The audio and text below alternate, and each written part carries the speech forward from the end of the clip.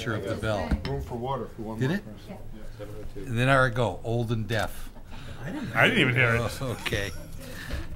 She just wants She us wants to get on. down She's the like, road. "Come on, Chuck, No, she's not of here." screwing around. It's like, get get this thing this road." meeting moving. Oh, boy. Uh, Okay, let's call to order at seven oh one. Um, Board of Selectmen on June seventh, two thousand sixteen. Um, we've got, um, we've got an interesting agenda tonight.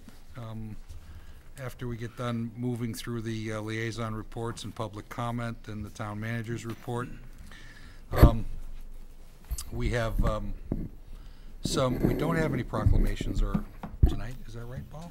Um, um, but we are gonna have some visits. Um, we've got some appointments on annual boards and committees.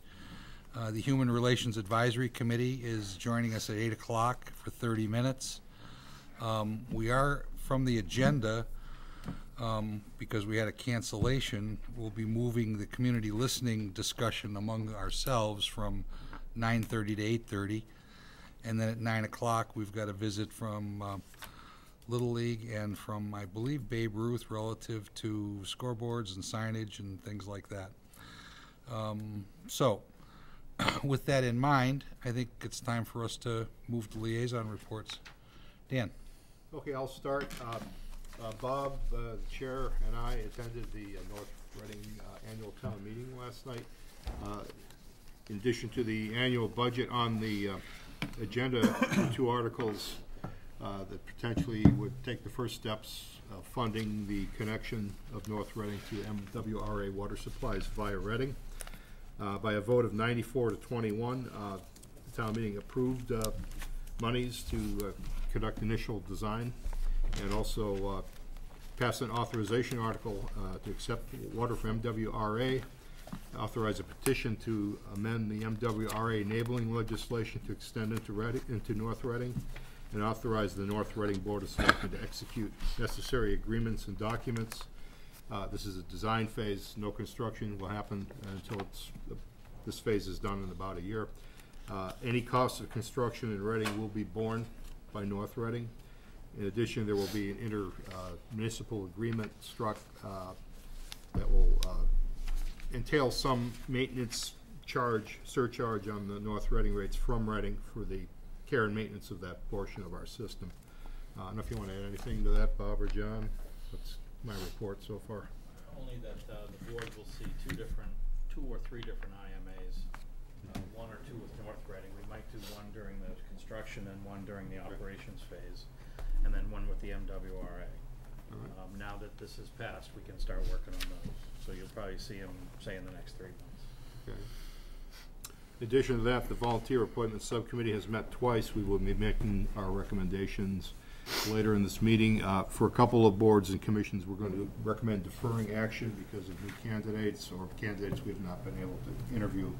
But we plan to do that uh, before our next meeting in June. We'll be prepared with recommendations at the next meeting. That's all I have.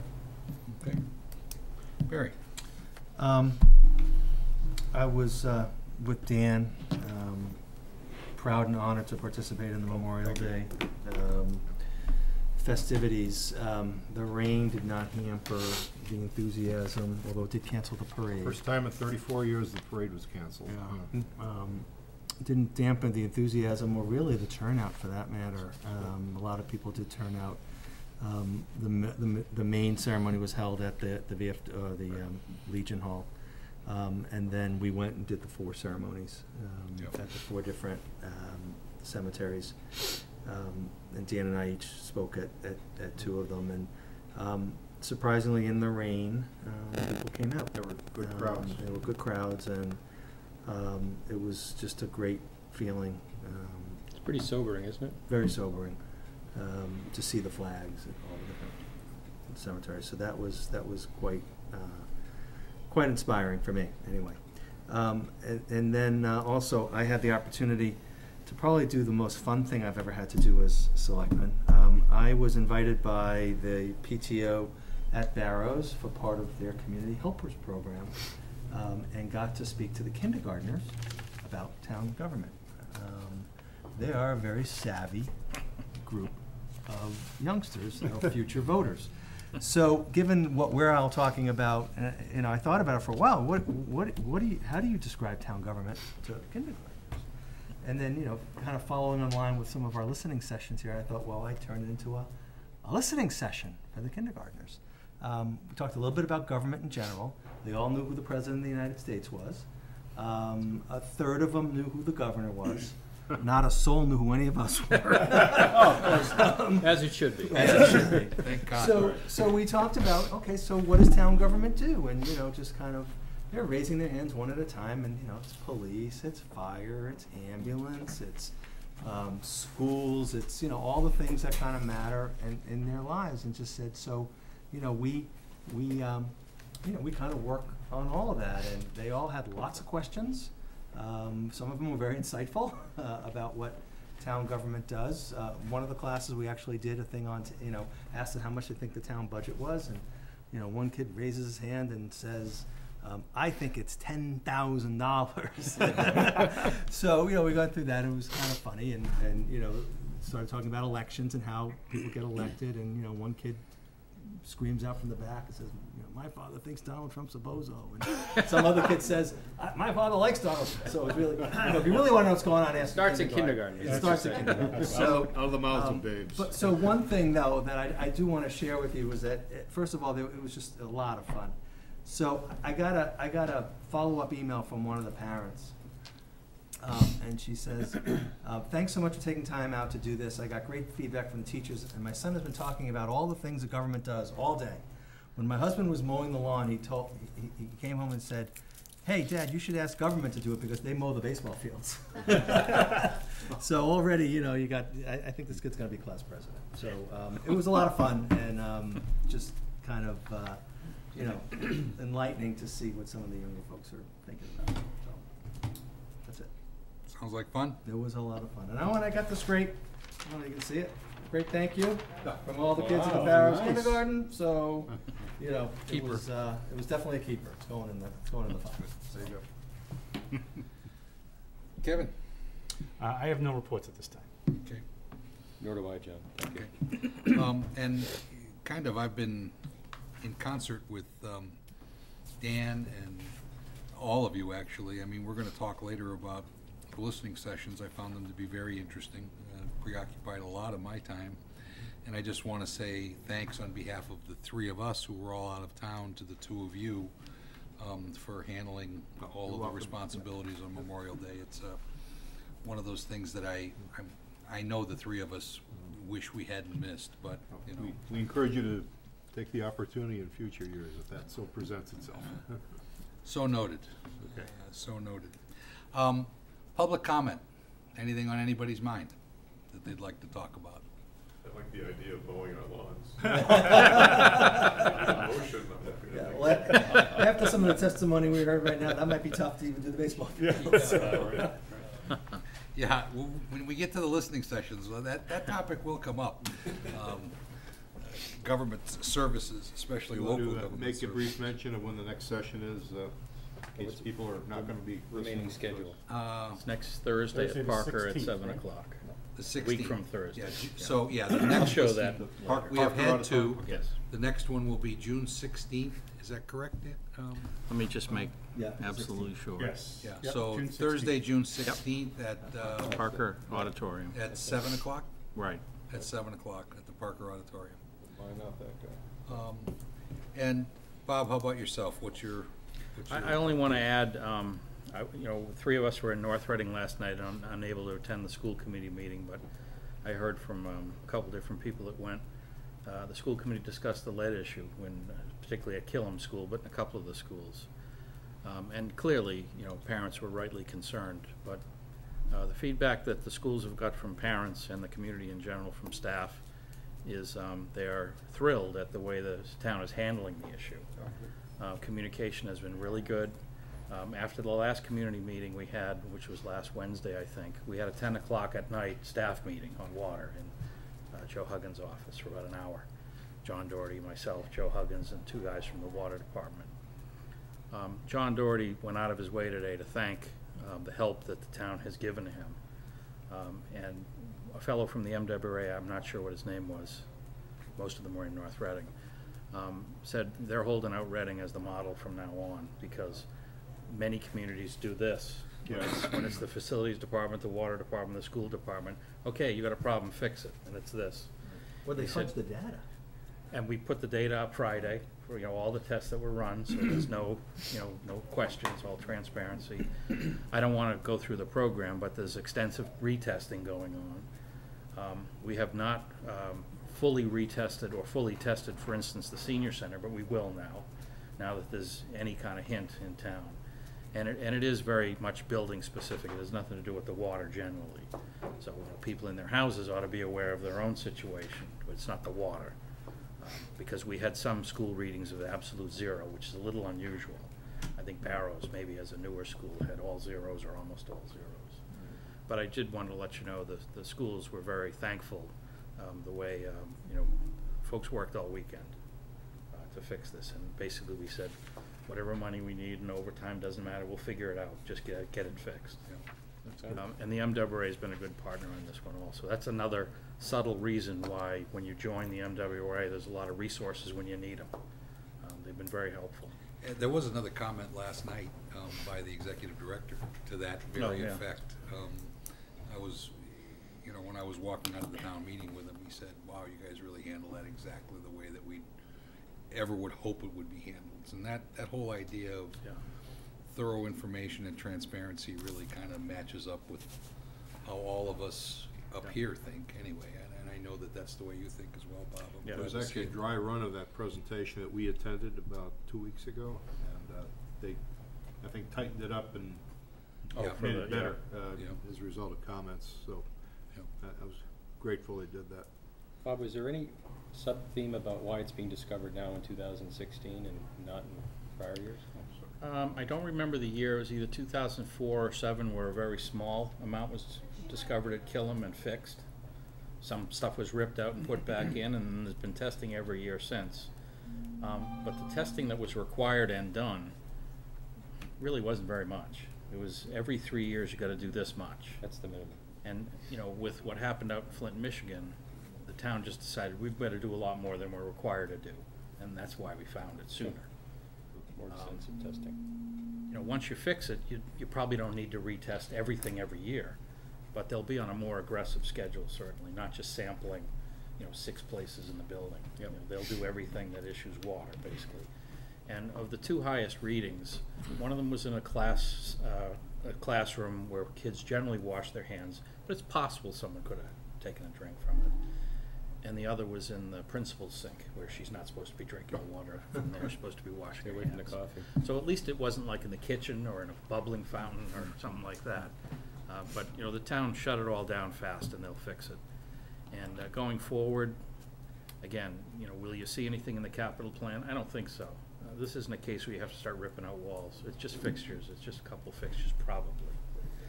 But the, I've seen, I saw the results of Killam, and if you looked at a map of Killam, it's not even like one section. It's just kind of random. So it's, so it's pieces of equipment individually. And Killam is the oldest school we have now that hasn't really had a significant makes sense. renovation, so not terribly surprising that of all the schools, that would be it. That's all, John. Okay. Um, I think it looks like it's time to- for us to get right into the meat of things. Does that sound right to everybody? Sure. Um, so, Dan, maybe, um, I Yeah, know be you and. Barry have been meeting, um, so maybe you could brief us on annual boards and committee appointments. Okay, just some general comments. Uh, we met twice, uh, May thirty-first and this evening again. Uh, Our philosophy was not to interview every single incumbent, but, uh, any board where there were new candidates and more, more candidates than open slots, we extended an invitation to the incumbents to come in. Uh, Not all came in on the thirty-first, uh, and we, we have to have, a- actually have a new situation created tonight where we, we did not have a competitive situation on the conscom on the thirty-first, but we do now. A new candidate has emerged, uh, David Pinette. So on the conscom, we're gonna recommend, uh, that the two incumbents, Jamie Malm and Anika Scanlon, be given an opportunity to be interviewed by the VASC. We'll do that prior to our next meeting, and we'll have a recommendation at that point. Uh, We had two candidates for constable. Uh, The incumbent uh, did not present, but we did recommend uh, her reappointment. And we are trying to get uh, the second to come in, and we'll, we can take the first vote tonight, we'll wait till next time on the second constable. CPDC, uh, we recommended without having the interview, they were invited to come in, but we think that's a solid group and we have any concerns. We had hoped to interview the persons for associate, so we can take care of the two CPDC appointments with the associate. I'd like to still see the new candidate come in for that. And So we I haven't. just have a, I, I just Yeah, have a question sure. about that. Given the, the nature, so we have no other candidates, but we certainly have things going on with Which the board are you talking about? CPDC. Well, we have two candidates for two positions for the main, and we, we, Are they incumbents? Both Yeah. of whom Yeah. will come. yeah, so we're gonna recommend they be. Okay, I, I had in my head that uh, you guys were inviting incumbents in in any case, particularly We if there started was out that high way, levels of Yeah. activity But going it would on. be Forty-three, forty-seven people. uh, forty-seven 43? people Yeah. to interview. So that seemed to be a little overwhelming. Forty-seven incumbents that are total, up, Yeah, okay. and then we'd have to come up with, well, if they don't come in, do we not recommend them, and, you know, that would kinda go down a. Well, I, I just, and I ask about the CPDC just primarily because there's a lot of activity going on. There's Yeah. been um, some kind of cross-roughing of um, public interest in some of their meetings. Right. Um, There's some rather dramatic things going on. It just struck me as that maybe that's not a bad I idea. would suggest a better way, maybe, since the whole board would probably be interested in hearing that, that we invite all or some of the board to come in and brief us on that on a regular. Aren't they due to see They'll us be at your next meeting Okay, anyway. so I think we can satisfy Okay. that then. Yeah, I, I'm not suggesting Yeah, in yeah. the, in the absence of a, you know, of a- another candidate that is presented, I'm not suggesting that Got it. Uh, it just strikes me as, I, when I heard that you guys were inviting people in and having discussions with them, Yeah. it kinda, I kinda like that idea, given especially some of these have got a lot of activity going on. and We don't get to them enough. But we wouldn't view their non-coming as a, you know, dispositive of appointing Right. them. And the only other situation we have, which we're kind of victim of our own appointing here, the Town Forest Committee is not sufficiently big to have three associates, only two. We currently have three incumbent associates. And um, we need to meet again and decide which two we're gonna recommend. Or did we do that? We did that We just did that. yeah. So we've done that. We'll be making that appointment. Okay, so let me understand, Yeah. what are we, what are we Alright. doing, what are we not doing? I'm going to go through the list of motions. The only things we're gonna pass on tonight is conservation. Uh, The second constable, we will appoint uh, Tanya Amico if the board so chooses. We're gonna pass on any associate for CPDC, and we're going to pass on associates for the town forest. Everything else, we're prepared and have actually recommended. And those, those gaps would be done in the following meeting, yeah? They will be. They'll need to be because those terms run out on the thirtieth. We'll tag team this one. You want, I'll start. Okay. Um, Okay, I would like to uh, move that the Board of Selectmen accept the rec, accept the recommendations and appoint the f- following folks. To the Animal Control's Appeal Committee as a full member, John Miles, for a term ending six thirty nineteen. I'm gonna go down a bunch of these. To the Animal Control Appeals Committee as an associate member, Joyce Gould, for a term ending six thirty seventeen. To the Audit Committee as a full member, Barry Berman, a term ending six thirty nineteen, but effective six seven sixteen. To to the Board of Cemetery Trustees as full members Ronald Storts and Elise Seregna, terms ending six thirty nineteen. I've got a frog, let's take a second. Let's do that. Is there a second? Second. All those in favor? Should ask for discussion, I'm sorry. Yep. Okay, um, Okay, so, um, move. Board of Health. Yeah, move that the Board of Selectmen accept the recommendation of the volunteer appointment subcommittee as follows. Um, John Costigan for a, uh, position that, um, expires on June thirtieth, two thousand nineteen. And before I go on, I just wanna say that. uh, Board of Health, yep. For Board of Health, I think John is here, yeah? he is. Yeah, so, just, um, if you wanted to say something or have any questions or. Uh, It's just an honor to be able to serve. I've a lot of volunteer work uh, throughout the town in the past twenty-four years I've been here. Just honored and privileged to be able to serve on the Board of Health. Thank you, John. Thank you for you, volunteering. John.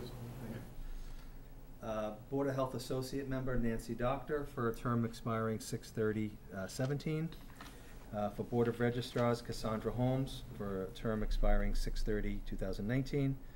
Uh, For the Climate Advisory Committee, uh, Lori Ann Sylvia uh, for a term expiring 6:30, 2019. And for the Climate uh, Advisory Committee Associates, Jeffrey Everson and Gina Snyder for terms expiring on June thirtieth, two thousand seventeen. And we'll stop here. Okay. I'll second. Um, any discussion? Um, all those in favor? Opposed? Unanimous? Yep. On we go. Okay, Commissioner of uh, Trust Funds. Commissioner, to, uh, move the Board of Selectmen accept the recommendations of the Volunteer Appointment Subcommittee as follows. Commissioners of Trust Funds, uh, John Daly for a term ending six thirty nineteen. Commissioner of Trust Funds, Associate Member, Richard Holmes, and this is a newly created position, uh, for a, uh, term ending six thirty seventeen. They're allowed to have, uh, I believe, one associate. Now we have recommended that. Skipping conservation, we will do the one constable. Uh, uh, move, uh, for the position of constable, Tanya Amico, term ending six thirty nineteen. Uh, CPDC move, move to, uh, to nominate Nicholas Safina and John Weston, terms ending six thirty nineteen. As I said, we'll pass on the associate. Council on Aging, Steve Austin, Sally Hoyt, Brian Snell, terms ending six thirty nineteen. Council on Aging Associate, Pooja Parsons, term ending six thirty seventeen. So let's stop there. Second. Any discussion? Hearing none. Um, all those in favor? Opposed? Your witness. Okay, moving along. Move that the Board of Selectmen accept the recommendation of the Volunteer Appointment Subcommittee as follows. Uh, For term on the Cultural Council, Nora Bucko, for term expiring June thirtieth, two thousand nineteen. For the Fall Street Fair Committee, Leslie Leahy and Sheila Mulroy, for terms expiring on June thirtieth, two thousand nineteen. And for the Fall Fair uh, Committee Associate Member, Allison Ullman, a term that expires June thirtieth, two thousand seventeen.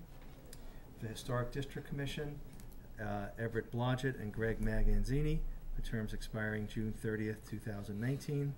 And for Historic District Commission Associate Member, Jack Williams, term expiring June thirtieth, two thousand seventeen. Uh, for the Historical Commission, Jack Williams and Jonathan Barnes, for terms expiring June thirtieth, two thousand nineteen.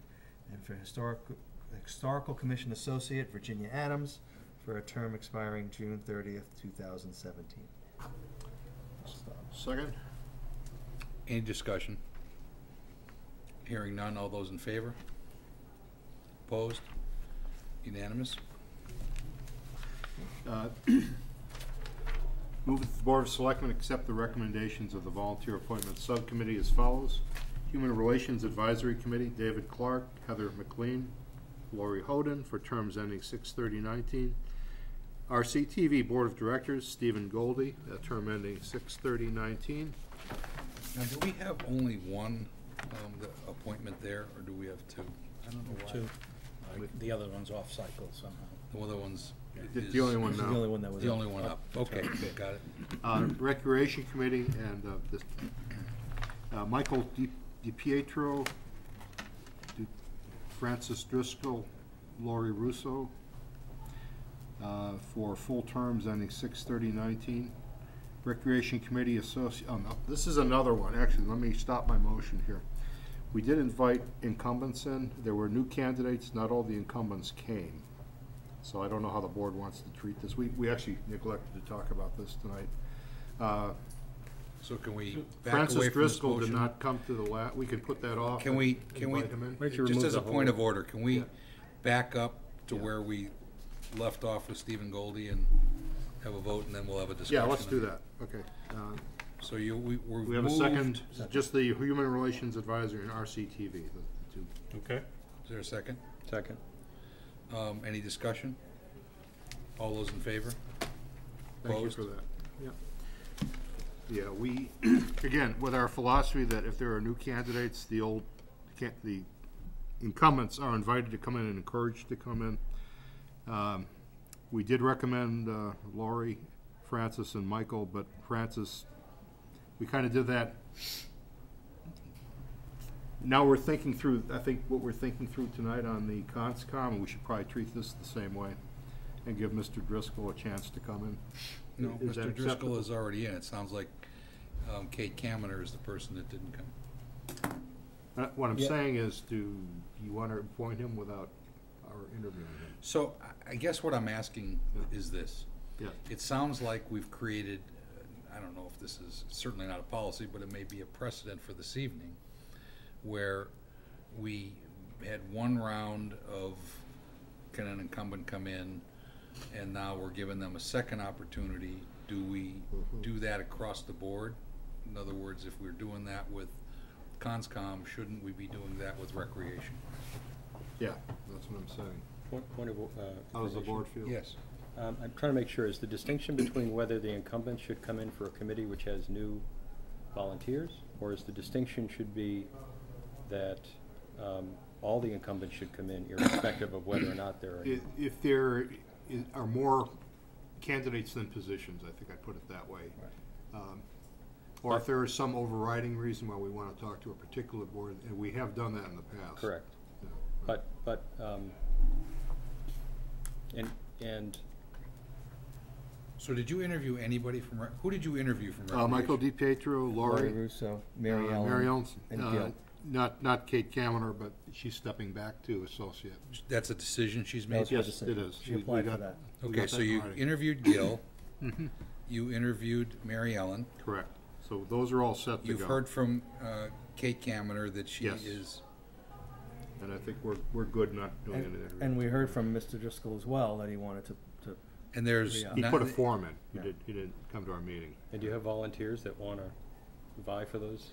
Well, you never know. I mean, it's, the ones that, the Hmm. ones that, whose names are on there were the ones who put their names in the ring. Oh, the Okay, so- associates would, There are three openings, in other words. I see. the board can proceed with the vote if that's. the pleasure There's, but- so there were three openings, we have three candidates. Yeah. Yeah. I think This you is what's more than confusing about three. associate members. Okay, that's, that's why I asked the Is question. is it true that some, some or all of the associates, well, uh, not Kate Kamener, wanted a full membership? Uh, Mary hold on. Ellen wanted an associate, as did Catherine, and How about Gil Gil? was, I think, open to either. So We- you have We're more- actually three for three by my reckoning, and, and we did not have a surplus of candidates. for So in the that full slot. setting- Well, if he was all- opening to, open to both, then you effectively had four candidates for three seats. Correct. As full members. If, if that's true. That's what it sounds like to me, too. So too. what's the pleasure of the board, to proceed with this tonight or to wait two weeks? Uh, Well, discussion? Seems to me you gotta figure out how you wanna treat, uh, new volunteers for a board that has incumbents coming up for renewal. I could see either case, but you Our, almost our want. philosophy is if there's contention for the seat, the folks that are seeking re-up should come, plan to come in and talk to us. But also, yeah. So, My, my, my thought of it always was, is that if you had an incumbent that, um, wanted to do it and there was no other, and there wasn't, you know, more seats than people, um, and then you had people who wanted to do it that, you know, new people can kind of whet their, you know, appetite and, and, and learn by being associate members, so that's, I mean, all things being equal, they never are, but, um, you know, to kind of, unless there's a reason not to reappoint someone, to, um, appoint them if there's new people. Um, and actually, we asked folks, if you're not selected, would you be willing to serve as an associate? And, and everybody, you know, was on that list said that they would. Um, and what about um, the, what about the three people that are currently on this list as full members? Did you ask them that question as well? In other words, did you ask uh, DiPietro and Driscoll and Russo if they were open to either? Uh, we asked Russo, um, 'cause Right. she was a new person. Frank Driscoll, um, was Was not not there there. to be interviewed.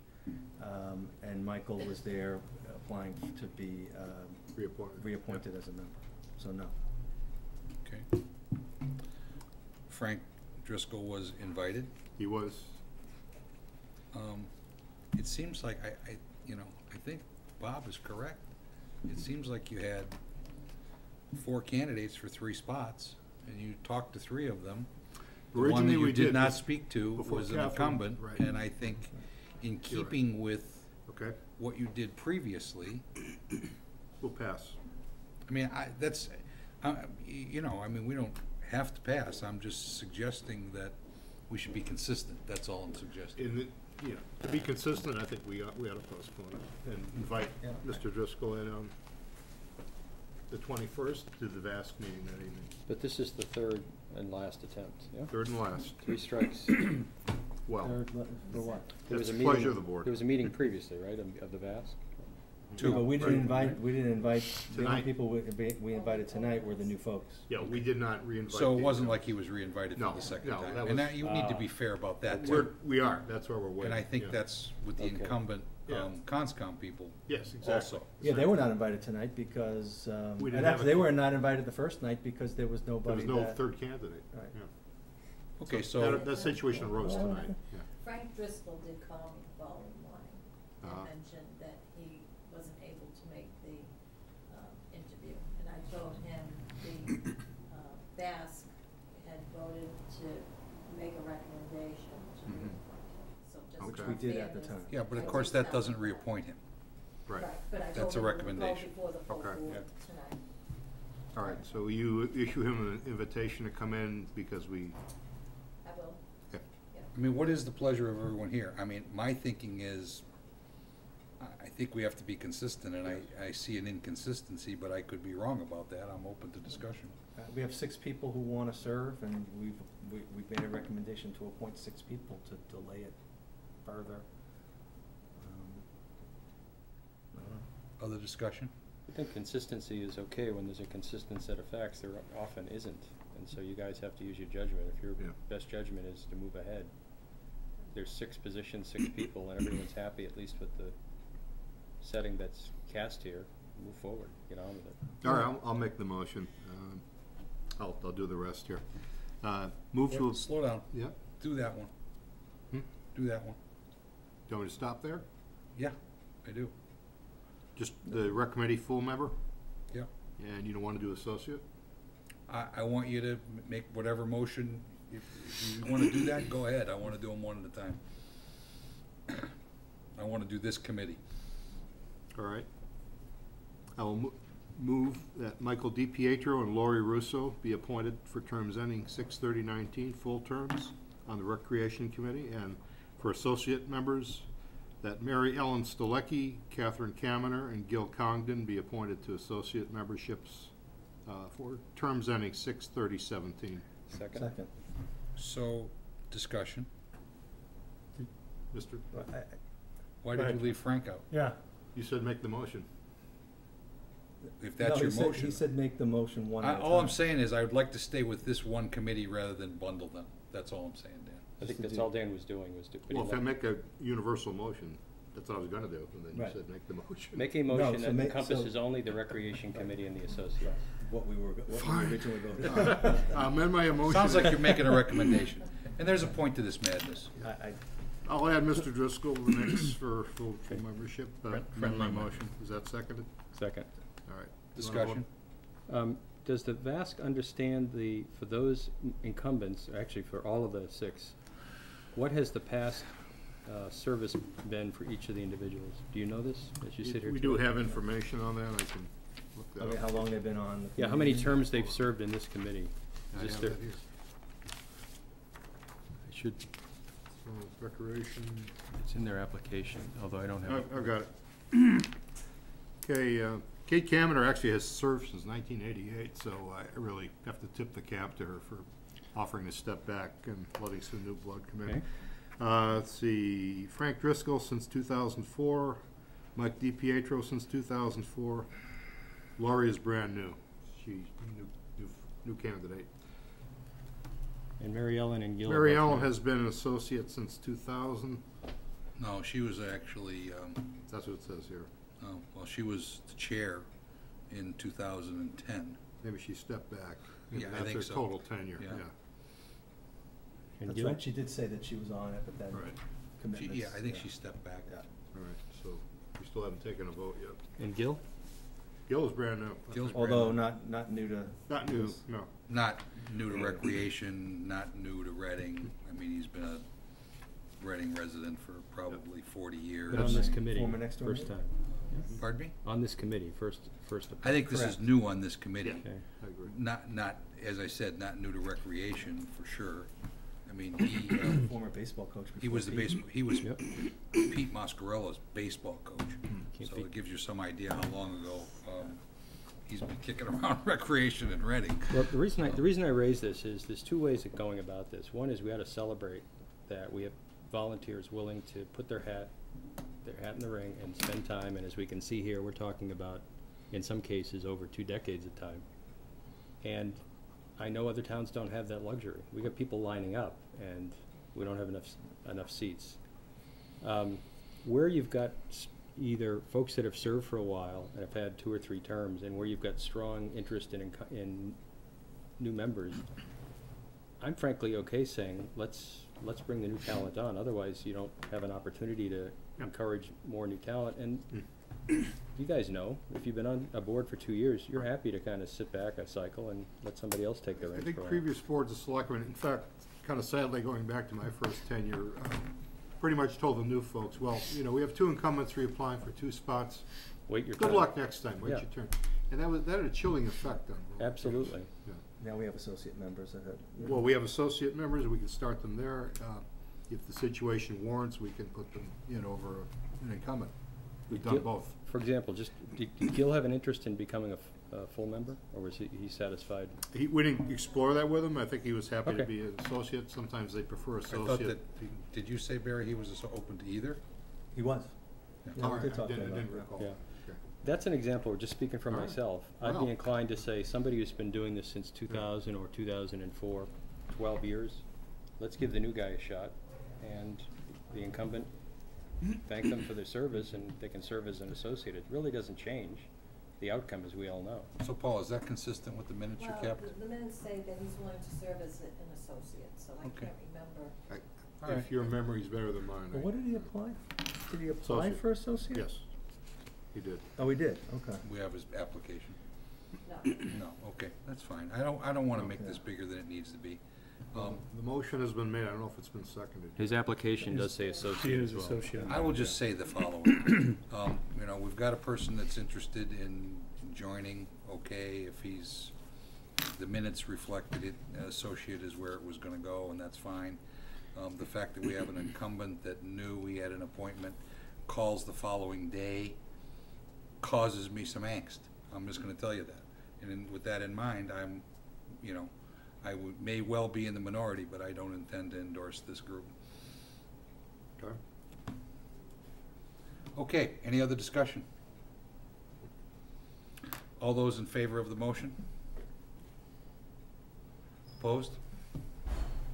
Three, two? Okay, on we go.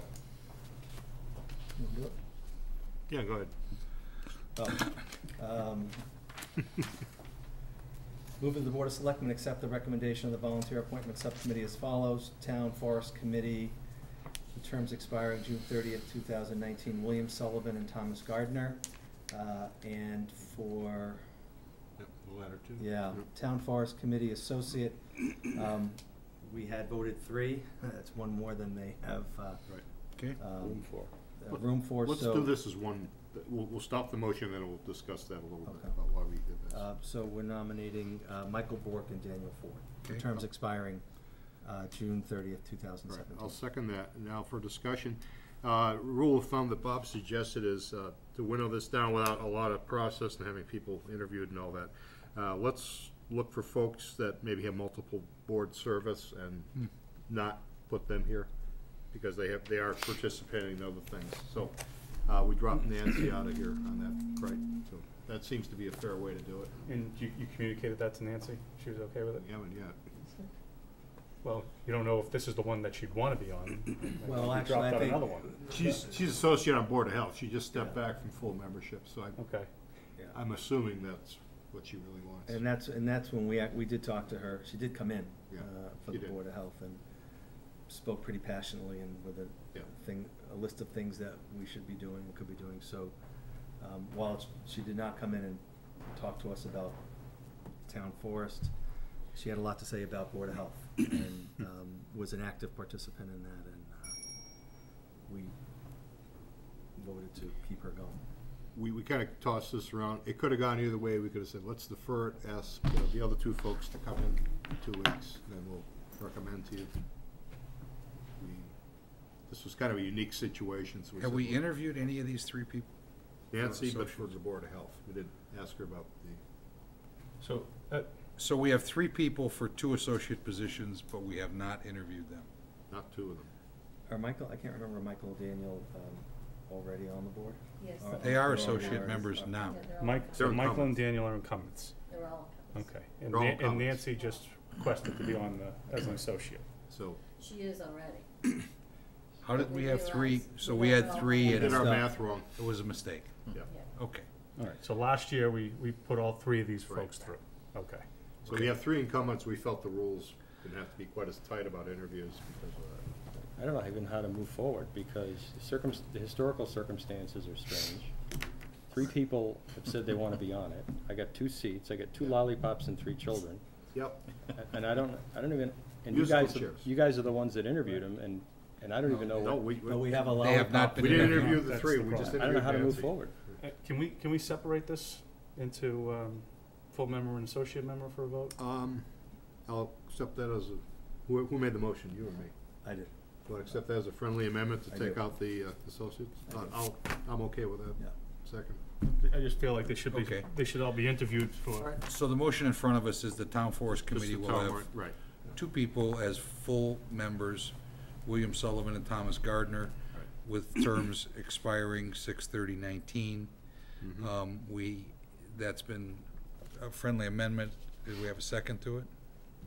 I, I seconded. Okay. Yeah. Um, any discussion on that? The implication we're taking away is that we should call all three in. I, I think so. Actually, maybe we should just call and see if Nancy's interested still. I mean, that's probably the easiest. We could do it that way, way. but- and, and just as a, uh, point of information, William and Thomas are current town forest committee members? Yes.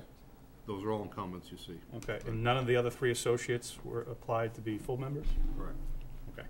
Why the three question marks?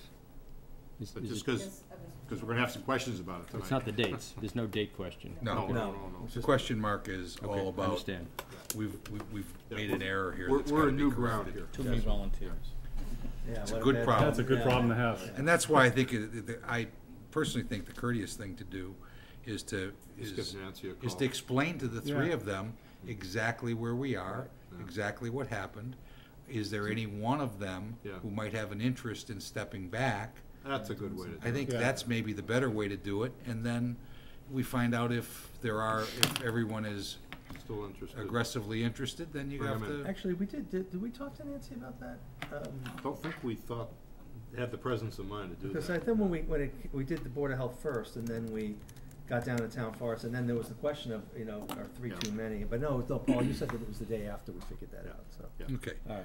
All right. all right, so we have a motion pending. All those in favor of the permanent members? Okay, that's five zero. Opposed? None? Unanimous? And we'll we're send letters to the other three. yes, I think that's the right thing to do. Just, uh, look, uh, we made, we made a mistake, We agree. so on we go. I'll finish it up. Uh, okay. Move that the Board of Selectmen accept the recommendations of the volunteer appointment subcommittee as follows. Trails Committee, Edward Crowley, David Williams for terms ending 6 19 Trails Committee Associate Member, John Parsons, term ending 6 17 Zoning Board of Appeals, John Jurema, 6 19 Zoning Board of Appeals Associate Eric Hagstrom. Is that correct? Yeah, that's right, because their associates have different term situation. Ending six thirty nineteen. Second. Discussion. All those in favor? Thank you, everybody. That completes our uh, appointments for the evening. We're gonna move on from that one. Sorry about the drama. We got the soup on that one. I think Um, we're running a little bit early here. So we're a little early, um, You got anything, so I any think minutes? No minutes. No minutes. we could go back and, you know, spin the dial on the, on the, um, on the annual boards and committees again if we want. I mean, just, you know, to Keep us uh, engaged. Um, we have no minutes to approve. Um, we have Take a no break. licenses. Um, I think it wouldn't be a bad idea for us Alright. to, Just a point of clarification, Yes. did you say that our, the item listed as nine thirty on the agenda is not gonna be at eight thirty? That is correct. Okay, thank you. and so I'm suggesting that we might begin that conversation now. Yeah, I could, I could spend a few minutes, for four of you who are at the meeting at one o'clock. I can just clarify some questions asked. Yeah, I think- That raised questions in my head. Um, Why don't we, yeah, why don't we take these, why don't we do one meeting, today's, now, for a few If we can do it in minutes? ten minutes, sure. Yeah. Um, the slide behind me, there were some questions. Our treasurer said, you've got some fact wrong. Right. She's never wrong, so, and I mean that Can you make that full sincerely.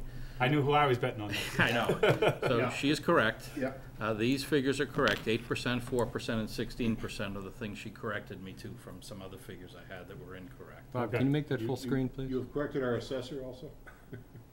She did. Sure she did. So we gonna, uh, do we have, to- should we be going back in time to see if there was any?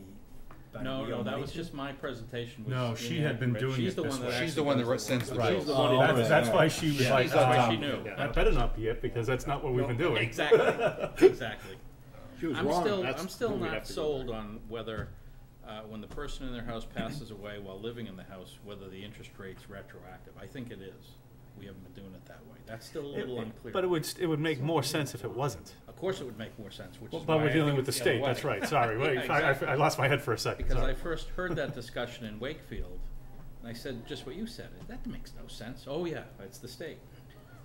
So, we'll find out. Uh, Okay. That's clearly not what she's doing. Who, who's the recipient of the interest? The state? Uh, no, the town, Oh. since people are not paying their taxes to the town in Yeah. a timely fashion. Um, and the second one, um, I had used the word increase the senior exemption.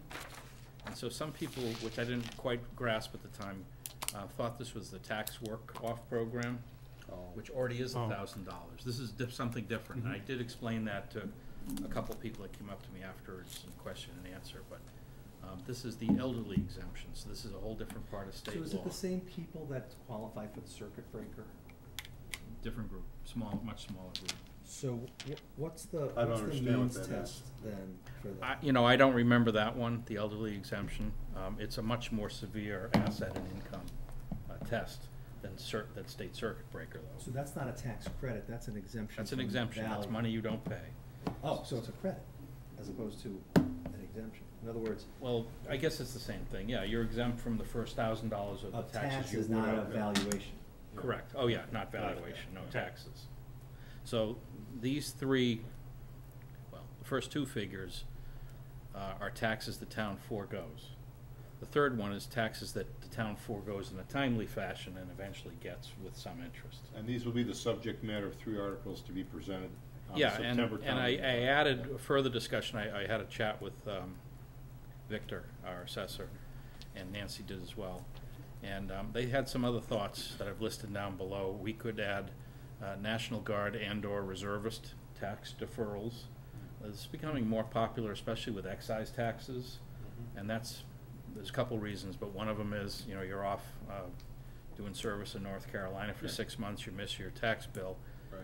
you missed your twenty-five dollar excise tax bill and there's a twenty-five dollar demand charge on it, so order of magnitude, twenty-five dollar demand charge on a, you know, fourteen hundred dollar tax bill isn't quite the same bite. And then, um, there's a veterans work-off program that I don't know the details of, but that's a newer thing. Similar thing, it seems.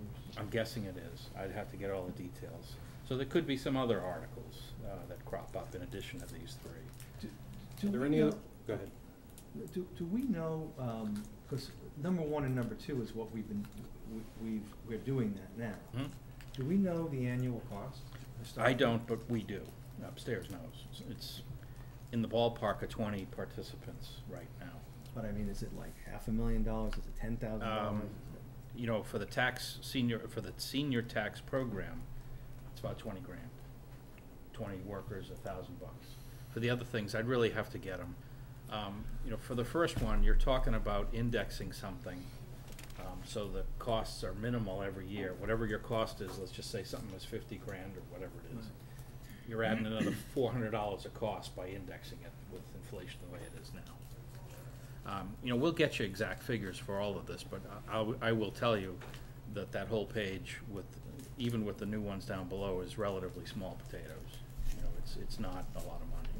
Bob, is the thing on the bottom, is that, is that an exhaustive uh, list of the veterans disabled uh, potentials, or is that just the Massachusetts version? Um, I don't, I'm not sure, I, I, am not sure I could answer that, I'd have to look. Um, Aside from home rule legislation, I think it's exhaustive, but I better check. So I, I do have a question that Yeah. came up, um, and it's kind of tied to this page. Um, I had someone come and speak to me after the, um, after our meeting this afternoon, who indicated that, um, that it was their understanding that there was, the work-off plan, tax work-off plan, um, pays at a rate of seven or eight dollars. Eight dollars federal minimum wage. Okay. So, um, and, you know, as I, and I did, I checked that out, and yeah, that's, that's correct. Um, I also know that, um, in, in doing a little bit of research, that we probably have more people that are interested in using that program, but we have limited opportunities for them in some cases. Sometimes they can qualify for the job, sometimes they don't. Um, and one of the things, I know that there's a maximum of a thousand dollars. So it leads me to believe that, um, and I, some of the other towns are doing ten dollars on this program. Really? Yeah.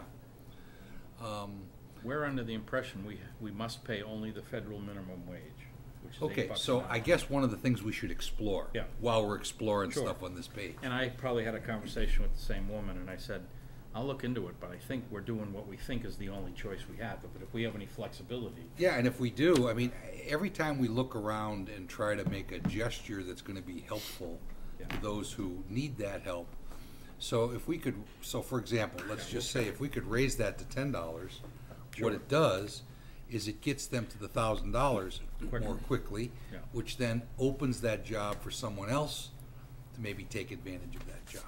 Um, the Board of Assessors, um, have indicated to me that they don't have surplus demand for interest in the program.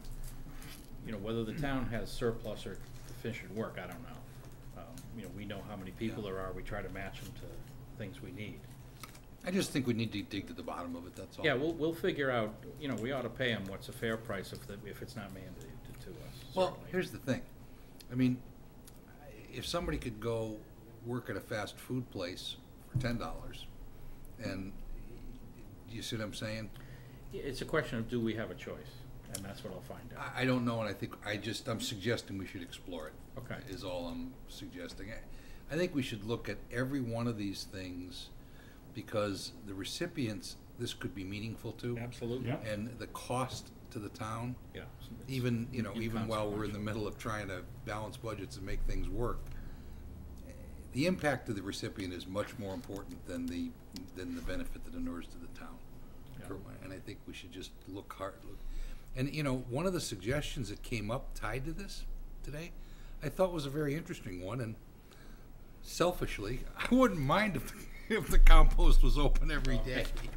Um, it was an interesting suggestion that was made that, um, that might be a way that some of our seniors could work off some of their tax bill. I'm just looking at the DOR site right now, and it does say that it's, city or town administers the program, keeps track of hours worked, and crediting for each hour worked, an amount not to exceed the minimum wage, currently eight dollars an hour. Oh, okay, so there you have it, okay, so, So maybe they sub, maybe those other towns subsidize. possible. Out of Don't their know. tax money, the I don't extra. know, that's a good question. um, I take Anyway. that as don't do it, but maybe there's a way you can do it. Okay, we'll I, look. I think that, I, the impression I had from this afternoon's meeting is that there was a great level of appreciation to the board for having done the research and the work up till now in, in looking out for them. Do you guys have that? those Yeah. of you who were there Yeah, had that's that what- same sense? Yeah, and I'll tell you that the assessors have been working at this for a year. Yeah, You know, this is a pretty simple slide, but there's a lot of work that goes into Right. figuring out what all the towns and cities do. Yeah. Um, And let me just, mostly for John Arena's benefit, since he wasn't here, let me just go over this fourth one, which is tangential. Um, By home rule petition, pretty much all the other things are, you know, allowed by state law. Not a lot of tools in the toolbox, but by home rule petition, Reading can do a lot more for the seniors, the low-income seniors. Um, We have some concerns, though. Um, One of them is, we don't want to have to hire employees to run a program. So we want to minimize the costs if we can. The assessors are going to be busy enough with all of this stuff. So we like the idea that there's already a state uh, tax circuit breaker program in place. So it's uh, on your state income tax. The state has done all the work and set up a qualification system. So whether or not we like it or agree with it, it's, a- it's an existing tool and it's easy. It's And free. a couple communities use that, and we think we would like to probably go in that direction for an ease in administration. Um, Our first pass through uh, Reading got six hundred and fifty homeowners that probably qualify for a tax break using this methodology. So that's a lot more than the last slides where you're talking about twenty or twenty-five people. Um, And again, the, the town can customize what it wants, but that's a starting point. Um, I'll suggest, and you're gonna have a meeting with the Board of Assessors sometime in July, I'll suggest you start thinking about, and we're gonna need a lot of numbers to really flesh this out. How much of a tax break do you wanna give to this group of people that other taxpayers will have to pay? Um, And I, and we'll come up with all kinds of analysis to show you, this means that, this means that. Uh, but the point is, let's just pick a wild number of a million dollars, that's nice and even. If you say that six hundred and fifty households are eligible to not pay a million dollars worth of property taxes, but somebody else will pay, um, if you do it with the state state tax circuit breaker, it'll be graduated benefit. So if your income is particularly low, you may save a thousand dollars in taxes. If your income is just barely below and you barely qualify, you may save fifty dollars. So it's not that it's a lump sum And and it can everyone change will from do year it. to year when- based on. And it could change from year to year. Which makes sense. And, and this is a bit of work for the assessors, you know, certainly from an, a marketing standpoint in the first year, a lot of information needs to get out to the Yep. community. Yes, Dan? Is it safe to say we've kind of dropped the idea of the residential exemption because Well, of the this, this, complexity? you know, that's up to the board, but Yeah. this would more directly attack, I think, Yeah. the residential base you want. Because that can only, the residential exemption can only go by housing value, which may or may Right. not correlate with Exactly. income. Yeah. And I- you certainly wouldn't wanna do both. Yeah, Yeah. well, yeah, and then, but the thing that also came up out of the meeting too, and, you know, I know we're focusing on seniors, you know, because a lot of seniors are living on a fixed income. Low- Low-income folks. There are Yeah. folks who are not seniors who are struggling just as well, and, and uh, would this, is this a, is this a senior-oriented program? I So think you have to if you have a- age as well. If you have a mom and a dad, both working two jobs, trying to put two kids through college. Doesn't help we- them. We haven't addressed that. Right. And I'm not sure you have a tool for that under So state we might, but. Bob, back on the circuit breaker, so that's a report or a qualification you can quickly get from the state with no effort. But the judgment as to where they fall on that graduated scale is effort. No, I, I don't think so. I think the effort is just communicating with all the people, because, you know, we might estimate six hundred fifty, uh, families, uh, qualify. Two thousand may apply, and we'll have to sort through all that paperwork. So we have access to some state tax data, but that doesn't mean, you know, You stop the everyone knows and they're all applications. gonna apply or not apply. And the Right. people that might even be qualified might not apply because they haven't Absolutely. figured out how to do it. And they might apply the first year and find they save fifty bucks, they don't wanna go through paperwork every year if we require paperwork Right. every year. Is this something we can put on the web, or? Oh, yeah. Yeah, So, we'll figure it um, out. Cause we're, uh, we're, we need to wrap this up. I, I do have one quick question though. Six hundred and fifty residents, is that households? That's households, yeah. Okay, so it's about eight percent of the households. Yes. That's not insignificant. No, it surprised me. It's the right Um, eight percent, right? Yeah, Right. and it is the right eight percent. Right. Okay, so let's, let's not lose our place, but let's button it up because the eight o'clock hour has arisen, um, or has arrived, I should say. the bell. not Arisen, and the bell is ringing. Thank God I heard it that time. I didn't hear it at seven. Um, I- In any case, um, we've got thirty minutes set aside, so you're on.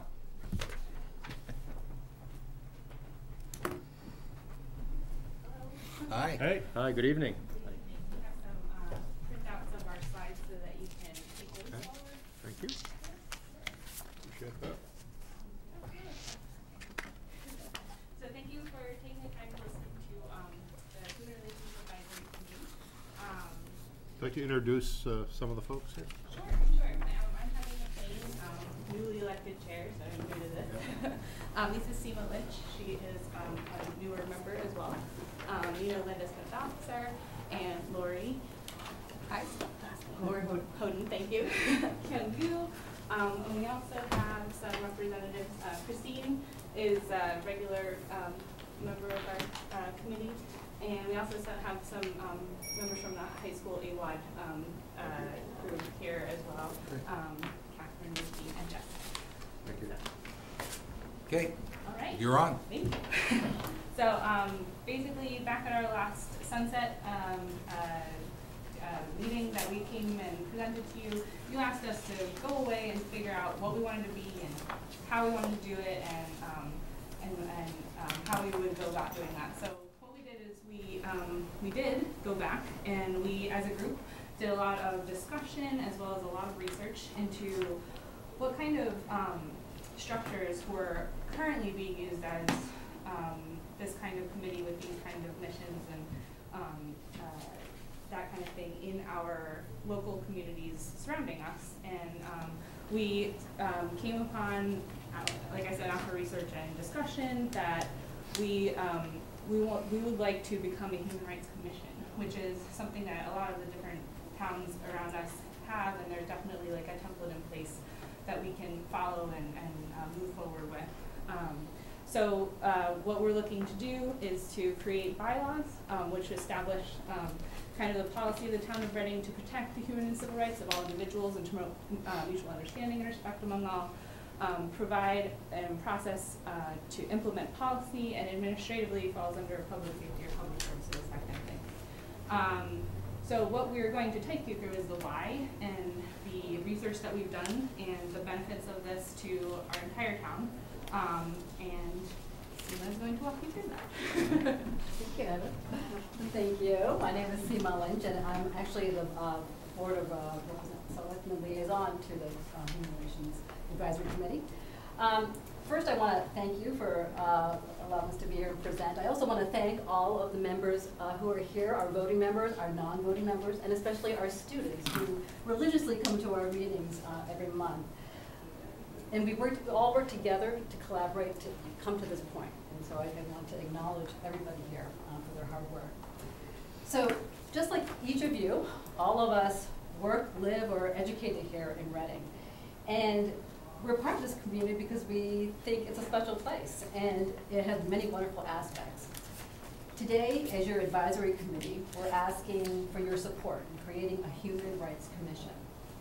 Because the stated mission of Reading, or its core mission, is to strive for excellence, which means ensuring that we're following best practices in all that we do. And that also means best practices when it comes to diversity and inclusion.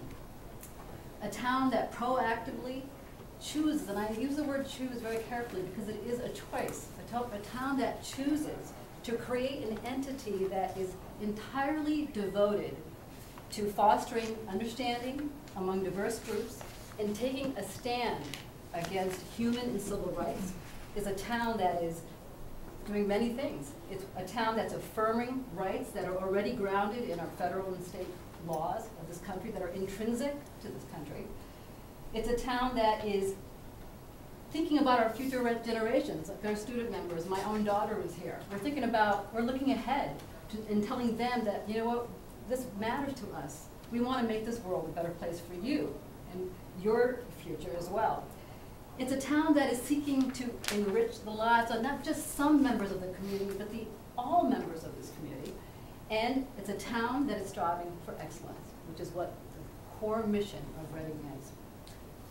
To push along the next, next slide. so we're going to talk, I'm just going to take you through quickly how we got here, because this didn't just happen overnight. We've spent months talking about, uh, you know, why and what we should be and, and, and doing the research. So the first thing we did is that we engaged in discussions. We spent a lot of time trying to figure out the pros and cons, who we are, you know, where we've been, what can we do, and how can we be better. And what we determined is that we have an identity crisis. Our, our advisory committee has existed for many, many years, and it has gone, undergone different formations throughout that time. Unfortunately, it's, doesn't know who it is or what it is. Board of Selectmen doesn't know who we are, we don't know who we are, and the community members don't know who we are. We, our problem, we believe, is that, is, is many things. One is that we, as an advisory committee, lack visibility, legitimacy, and relevancy in this community.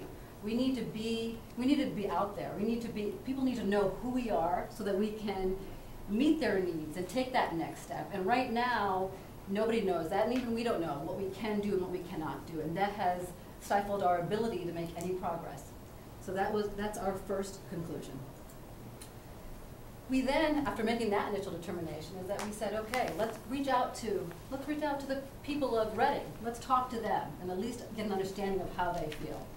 And we found a lot of things. We found that there are many things that people love about Reading. It has great schools, parks, it takes care of, clearly takes care of itself. You just drive through this town, you can see that. But we also realized that the people do have concerns. They do exist. There are concerns about maybe sometimes injustices being quiet, not being brought to the surface so they can be discussed and addressed. That there's intolerance to diversity in some respect, lack of education, and maybe that there are others outside of Reading who view Reading as maybe not as welcoming as it purports to be. We also realize that from the survey that people actually are looking for an opportunity to express their concerns and to, to be able to bring their thoughts and ideas to a place, in a safe place, either anonymously or in some form where they can do that. Yes? Uh, Is that survey, are the results of that survey available? Yes, we actually, I- I know we provided them to Kevin, I don't know if those were shared, but those, yes, they're How large was the survey? You know, th- initially, I believe we had about thirty responses. Yeah, I think it was like 35, yeah. And that was just the first, uh, the first time that we had How said did that. you, um, disseminate it?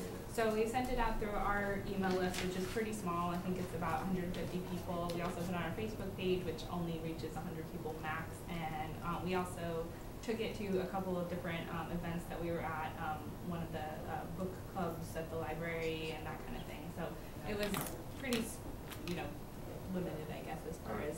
Was it comment. anonymous? on Edline. Oh, and it It was was put on anonymous, Edline? yeah. Yes, anonymous. So in all of those places, you get 30 responses? And we, it was an initial, it was a start, and it was, the point of that was to get a sampling, because we knew that we wanted to bring, uh, we wanted to get at least a taste of what is going on in this community. We realize it's, it's a small portion, but it's something, and that people are voicing their thoughts. Um, but as I said, there were many, many positive things that were said about Reading as well.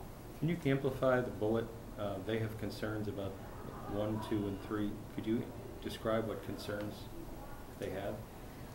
Mo- I think most of, if you, you can expand on this, but my general memory is that it was really, I don't know if people actually cited specific concerns, but are really, these are, these are the words that they actually used. That there was a sense and this feeling that just things are, happen, and there's this, uh, sense that things are just kept at a level and not brought to a point where they are discussed. So did a question drive them there, or is this, Yes. uh, was this something that they, these are comments?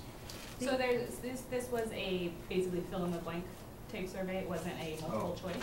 So that's why these words are directly from, um, residents. So, so the tendency to keep quiet about injustices might have come from two people, Right, like that, that. one person, I mean, Right. you know, Right, just right, right. trying to understand no, the data. absolutely, no, and, and that's a fair question. I mean, this is- doesn't mean that all thirty said that. It just means these were individual comments that we, then grabbed from and, uh, I'm just amazed at number four. We have a, we're viewed as being hostile to what's Well, at least, at least one person thought that. I'm not going to tell you all thirty thought that, but, you know, one person did, at- at the very least, in that survey. And so the point is that, is whether it's one or it's three hundred, it's still a concern of a member of this community.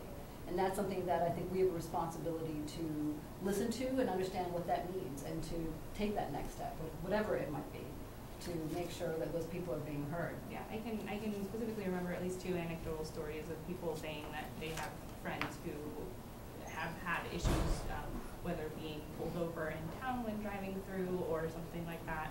Um, they, you know, they're just, just different stories about, um, people feeling unwelcome in town because of wha- whatever kind of discrimination I don't know who feels welcome when they get stopped by the police, but, uh, To be I fair, mean, that seems to be, No, and we're not, you know, we're not trying to un- unnecessarily amplify, or we don't want to minimize either what people are saying. Um, I think what's important that we, I mean, we're providing you with context, these are, uh, all the steps that we've taken in a short amount of time to show you that, you know, Reading is a wonderful place, but there, you know, no place is perfect, and things that we may not each, every, every day see happening may still be occurring, and we can't ignore that.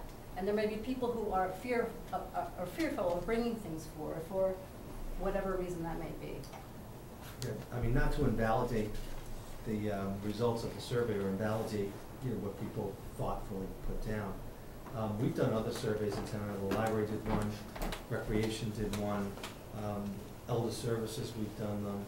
Um, I would really, um, you know, as, a- as, you know, this is a a good step forward. I would really like to see, before we take really any action, a, a strategy on, and, and we could figure out ways to get this out Outreach.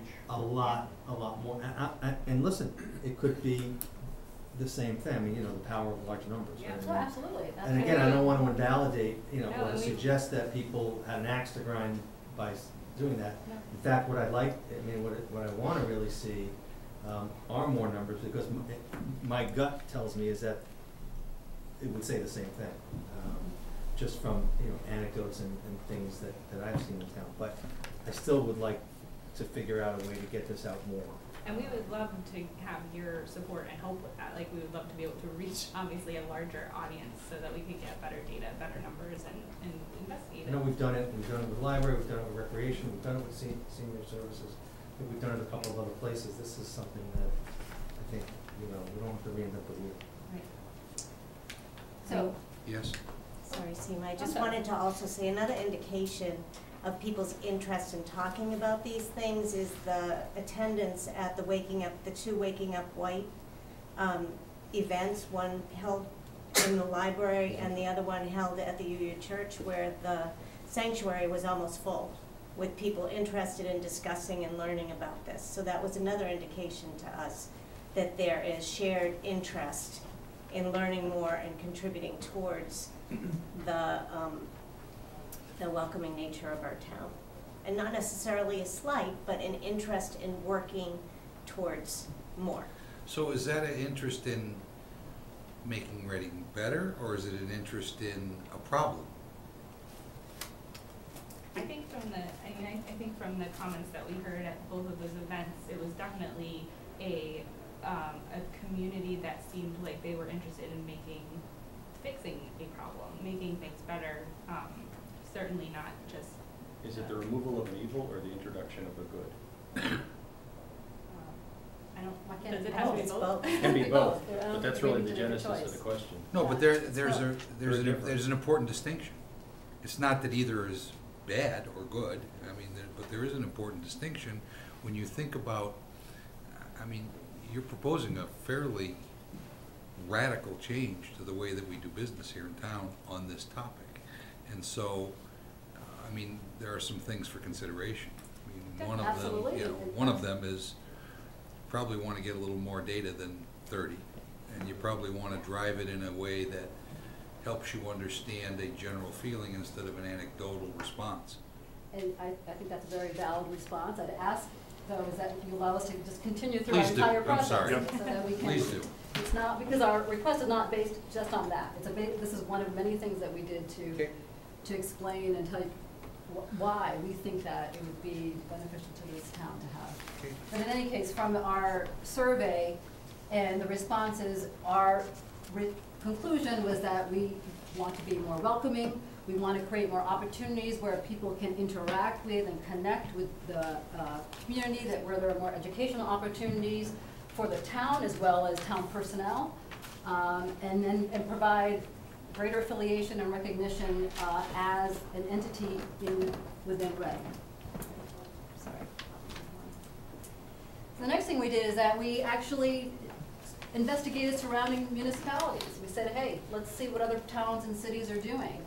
And here I've listed just a fraction of the communities that are actually located just around Reading that have human rights commissions, entities that are uh, uh, that exist within their municipalities and are exactly what we are looking to be. We are not looking to reinvent the wheel at all. We are looking to jump on board, to be part of this, uh, this, this wave that is pushing forward um, mutual respect and understanding and um, trying to take a stand against human and civil rights. And this is happening all around us. It's not, we're not the first ones to try to do this. And I think this is really important uh, point, that while it might be a, a, a new big bold step for Reading, it's, it's not a new big bold step for the, for Massachusetts and for many communities around us. Um, and we simply want to be part of that. At least that's one reason uh, why we think that a commission in Reading um, is very important. In addition to, to joining the other communities around us, we learned that there is a- an entity called the Massachusetts Human Rights Commission, which is then a consortium of all of the municipalities within Massachusetts that have human rights commissions and are part of this larger organization, which also includes, um, at least in our area, the Middlesex District Attorney's Office, it includes the Department of Justice, and they meet every month. The- These community members and representatives come together every month simply for the purpose of doing what we want to do here, which is to promote mutual respect and understanding. And they share ideas, they share programs, they uh, collaborate, they even, they share in the costs of programs on working together. Uh, This is something that we could be, a participate in as well uh, as a member of, uh, as a Human Rights Commission.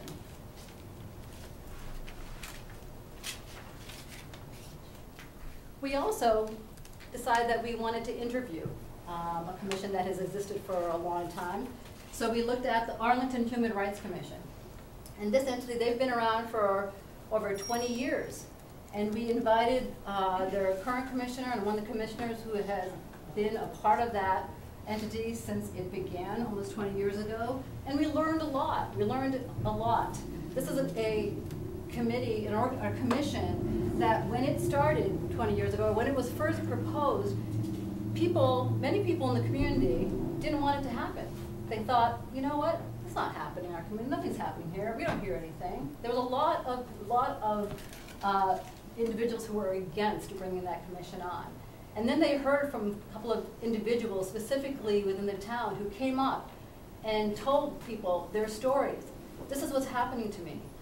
People are, are- sending me messages of hate. I'm being treated this way. They heard from individual members of that community that, yes, things were happening. It did pass. It passed 20 years ago, and they've never looked back. We've asked them, what are the pros and cons? And it's all, they've, they've only keep moving ahead.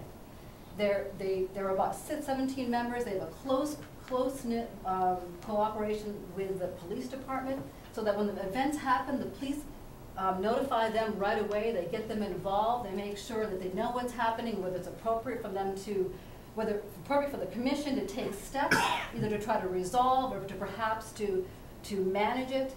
Uh, it works. They, Seema, can you Yeah. um, talk a little bit about some of the educational programs maybe that the Arlington Group does? Some, I mean, they've been in the ground for 20 years, so got a good track record. They're well-known um, in the town. Can you just touch on a couple of things that they do that um, we don't necessarily do here in Reading but might benefit from? Yeah, I know that they, and please uh, join in, but they quarterly, for example, have community forums uh, where they will sponsor some, some topic of some sort where they bring in a speaker and the community comes in, they have a community dialogue. Even the police themselves will actually, um, I believe actually one of the stories was that one of the, of the police department um, sponsored a program on racial profiling, if I recall. So it's so collaborative that they actually are engaged in understanding what's happening in the community and then responding immediately with programs that would be beneficial to, to everybody there. So they, uh, on a, on at least a quarterly basis, have these community dialogues, that's at least one. They even have a, another arm of their commission, which is a response team, um, which is even, even more complex, where um, it's a team that's sort of on notice, on call for immediate events that are occurring, and they, when something happens, they initially make an evaluation, whether it should go to this team. I mean, they have been along so long that they have come a long, long way in how they develop their programs. Um, Are you suggesting that this group would take a first responder position? Take- You know, not, I'm- I'm not suggesting either way. I, I- my point is that this is, I want to look to Reading as an example of a community that has started at one point and has come a long, long way. I'm not suggesting that we should be at that point. I am suggesting that Arlington has started in a way that we are starting and that we should look to them um, in terms of how they developed, uh, which was to, you know, initially to, to do, and, and still do all the things that we want to do, which is to educate, to improve the quality of life, to be able to um, respond to complaints. Um, And as, uh, in terms of being a first responder, what I mean is that the police, at least, even beyond this extra team that they have, at least keep the commission aware of events that are occurring. Is the commission a recipient of that information, or are they a source of assistance? I, I think they're both, it, it really depends on the situation. So it can be a situation where the commission may come in and it might be a private matter, and maybe it, it's a matter of assisting individuals with, okay, here are the resources that are available to you. Um, in terms of, it could be saying, hey, you know what, we as a commission can provide mediation services, because we have certified mediators on our, our commission that can perhaps, if the both parties agree, work together to resolve, resolve this, which then handles it as, at a community level without it being escalated to, uh, to, to the courts or to an administrative agency. Um, it- it's a way of, you know, handling, thing, managing matters that are occurring at a local level, and perhaps then dealing with it there before it gets to something larger. Who would decide the programmatic, you talked earlier about programs, who would decide the programmatic content? Of, of the, of the, I'm sorry. You- You described earlier potentially programs that might be put forth, or that Arlington had put forth. If that were instituted here, Mhm. who would decide the content of those programs? That would be the commission, the commission, because the commission itself, we propose, would have its own bylaws, um, that would enable it to determine, um, and decide what programs that it would, So- um, So it would want to be offer. independent without effect, without oversight. Well, it would have oversight in the sense that it would report, and again, let me just say this, that, and this I would come to the end, but what we are looking for today, we don't have all those details and specifics of the bylaws mapped out here today, I will tell you that. But what we envision is having a set of bylaws that does outline those types of issues, you know, how we would, um, you know, what exactly would be the policy of the commission. Like, How- uh, for example, our, you know, in the bylaws of Arlington's Com- Human Rights Commission, it, it define, it has definitions, it says an entire section, it defines what discrimination What would they be like, so do you have any examples? Of the bylaws? Well, for example, the question that Mr. Arena asked. What Would you know how, what our, how Arlington handles that? How would the programs be? No. I mean, Is the group set up to be autonomous and independent? Oh, so I'm Or sorry, I didn't answer your question. Does the group roll up underneath a different group, and if so, what role does the bylaw have if it's overseen by another elected body like the schools or the town? So, um, so it, it has oversight in the sense that, you know, it would, on a yearly basis, would, re- at least Arlington reports, um, has to provide a report to not just the Board of Selectmen, but also the superintendent, and I I think even the police department, on, on a yearly basis as to their activities and what they've been. I'm talking about direction though, not a report. Well, I think actually Arlington reports uh, to the Health and Human, S- or, you know, Public under- safety. uh, Public Public safety. safety, the, under public sa- safety, although, you know, I think, um, But that's a reporting structure. For- I'm talking about week to week, month to month direction. Where does that direction? that comes from within, com- from within, that's the committee, that's the Yeah. commission. We have a, uh very short note from town counsel that may help clarify this at the end of their presentation. Yeah, so one of the questions along those lines, um, you've identified thirteen examples. Nine of those are cities, which have a completely different infrastructure from the way we operate. And then you look at the four that aren't cities in their towns, and one of them clearly is one of the peer communities that we, when we look at kind of what Reading's about compared to its peers, I know Wakefield is one of those. Needham possibly would be, I know.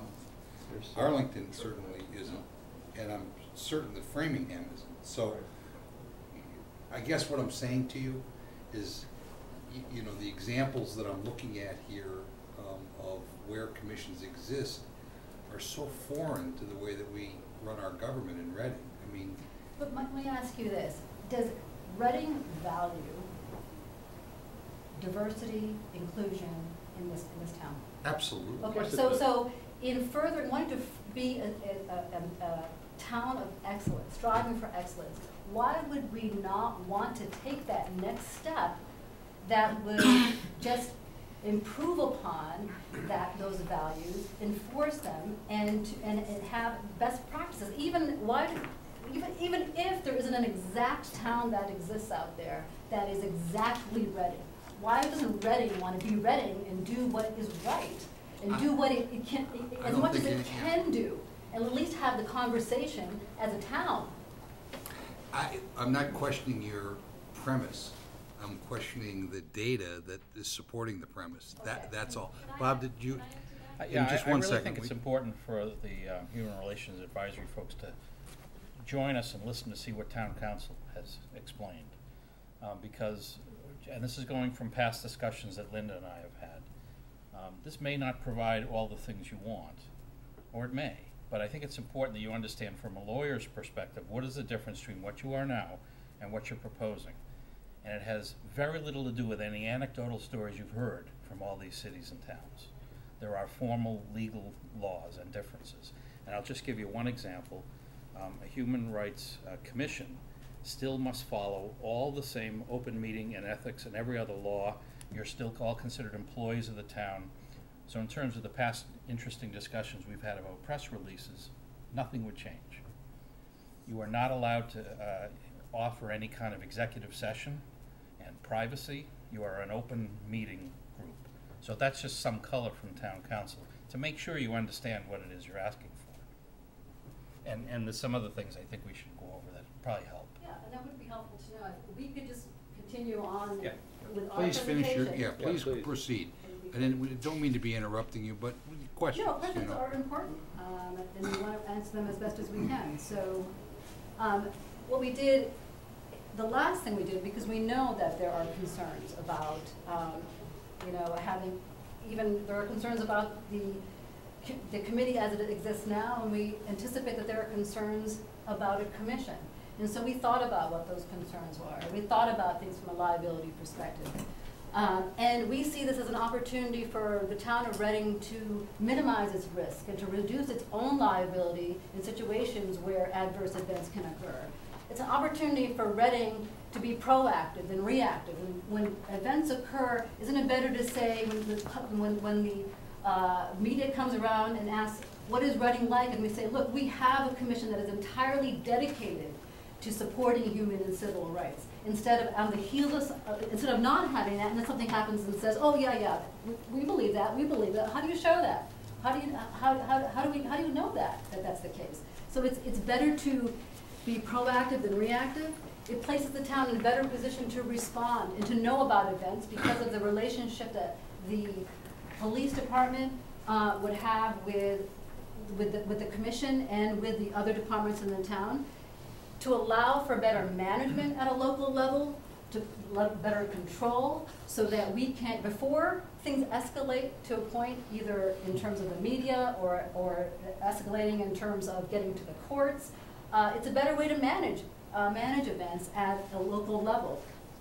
It provides for more rapid response and assistance where necessary from other um, departments, federal and state departments as well. It's an ability to take control of a situation in a positive way, which can only reflect well on a town when, after the fact, agencies come by and are saying, what are you, town of Reading, doing to ensure and to promote human and civil rights in this, in this town?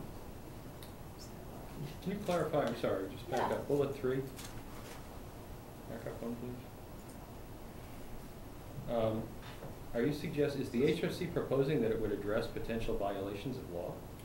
No, my, my point is, that, my point of potential violations of law is that, you know, one, one of the concerns, and this relates a little bit to the, to the next slide about communication, is that this is not about taking political, a political position or a political stand on anything. My question is, is, Yeah. are you asking for a legal position? not a middle. No, but what we're saying is that, you know, when hate crimes occur in this town, or when civil rights and human rights occur, that the town should pro- be proactively s- s- come forward and say that we will not tolerate those types of violations that are grounded in the laws of, of the, of the country, of the state, and of our town. That's what I'm saying. That bullet point, I mean, Mr. Arena raises a very germane question. Mhm. That bullet point says to me that, that the HRC as a neutral body addresses violations of law. Isn't that what our public safety and police force does? Wh- when, when an event happens, if there, if, if somebody draws a swastika in a public bathroom, know, how would you characterize that? That is potentially, what is that? That is a hate crime. Maybe not, it might, be- it might be some wise guy doing nothing but trying to attract attention, or it might be a hate It might be a hate crime. And the- But- what the point But the distinction is after an investigation by law enforcement to determine the circumstances, not by responding to the outward appearance of it, but by digging into it to find out what the truth is. well, why would Reading not want to affirmatively come forth and say, we do not tolerate these types of actions, regardless of what it may end up being, but in the end, it's a swastika in a public bathroom, that is a hate crime. I don't Why accept- would you not want to I don't acknowledge accept the that? premise of the question. I, I think we do.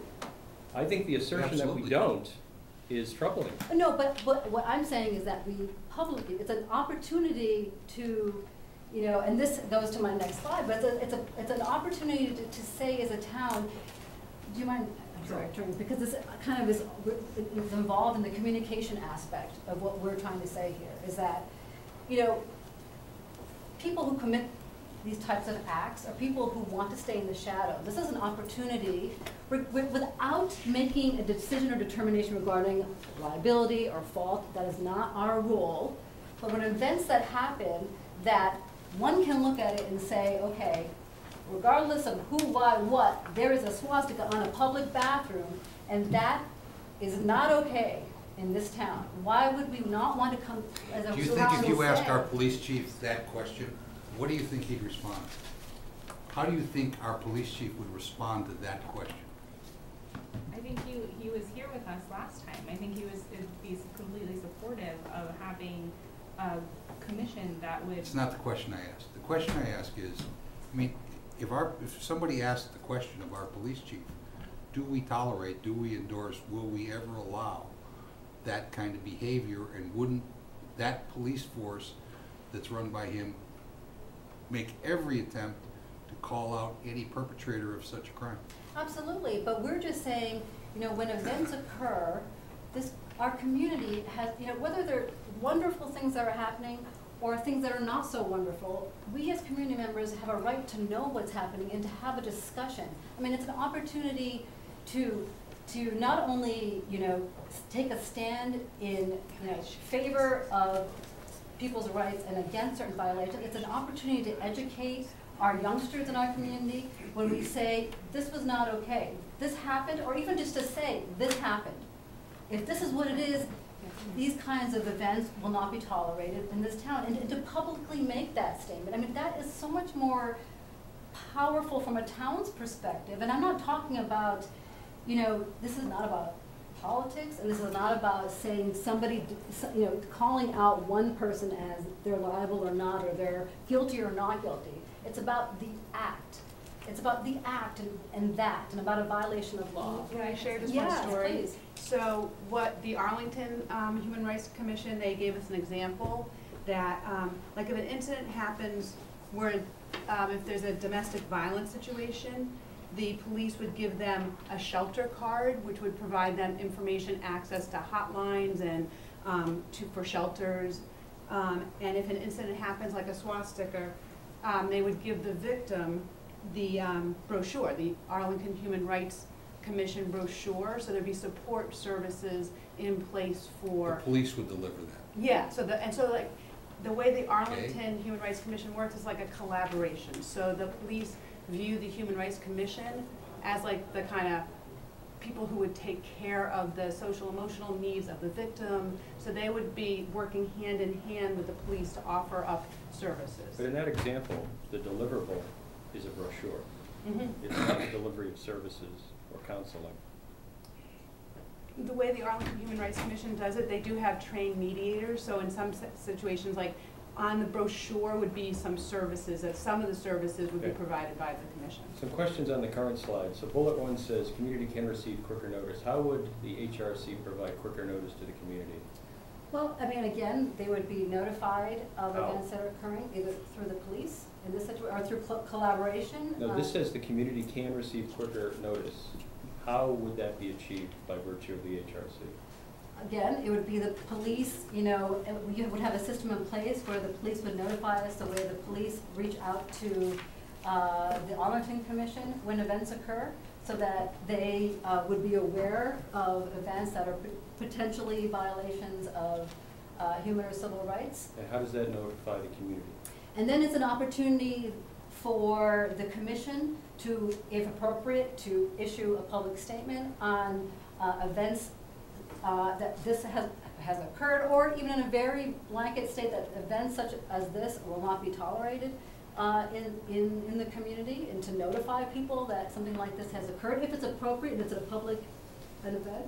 So, so Arlington, because I, I bring it up because you, you brought it up as an example of a town close by. Um, The commission, who, A, who appoints the commission members? Um, Two, um, do they have a staff and a budget um, in, in that town? Um, Is there a composition of what the board, or what the commission cons- consists of?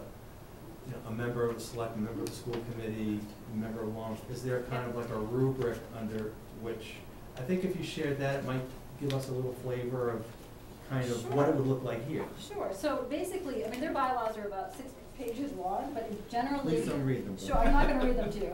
But basically what they do is they first affirmatively set forth a policy that it's unlawful in this town to, you know, deny, um, equal access or to engage in discrimination, um, on housing, education, you know, based on, you know, all protected classes.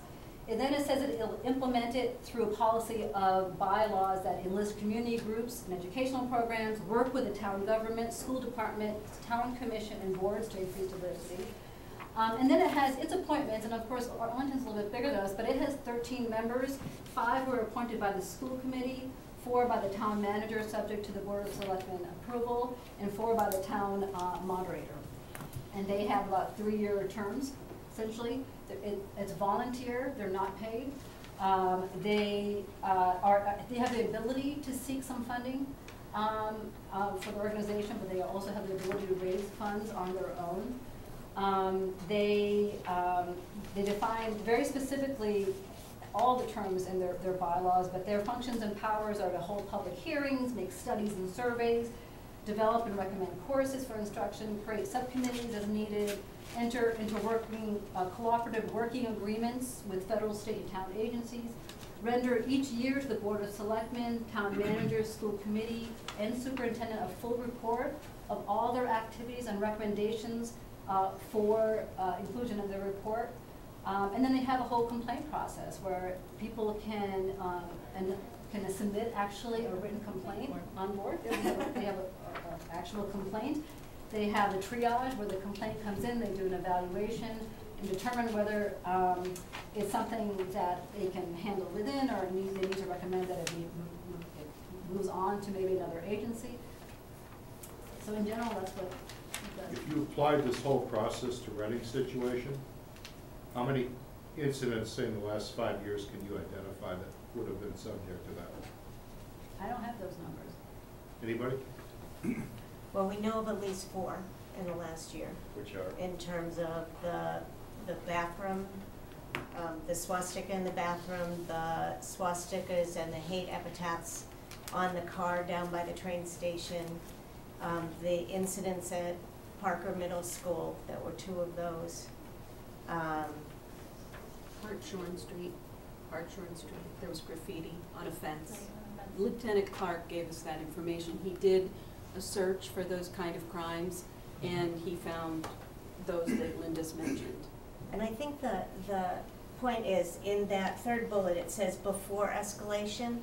So the point isn't that we're taking over the job of the police, because we have a policeman on our committee and we wanna keep that. The point is that alongside the police, there's an aspect that we can play, a dimension that we can play. So I'll take, I know I've used this example before about the defiling of the graveyard, Jewish graveyard in Lynn.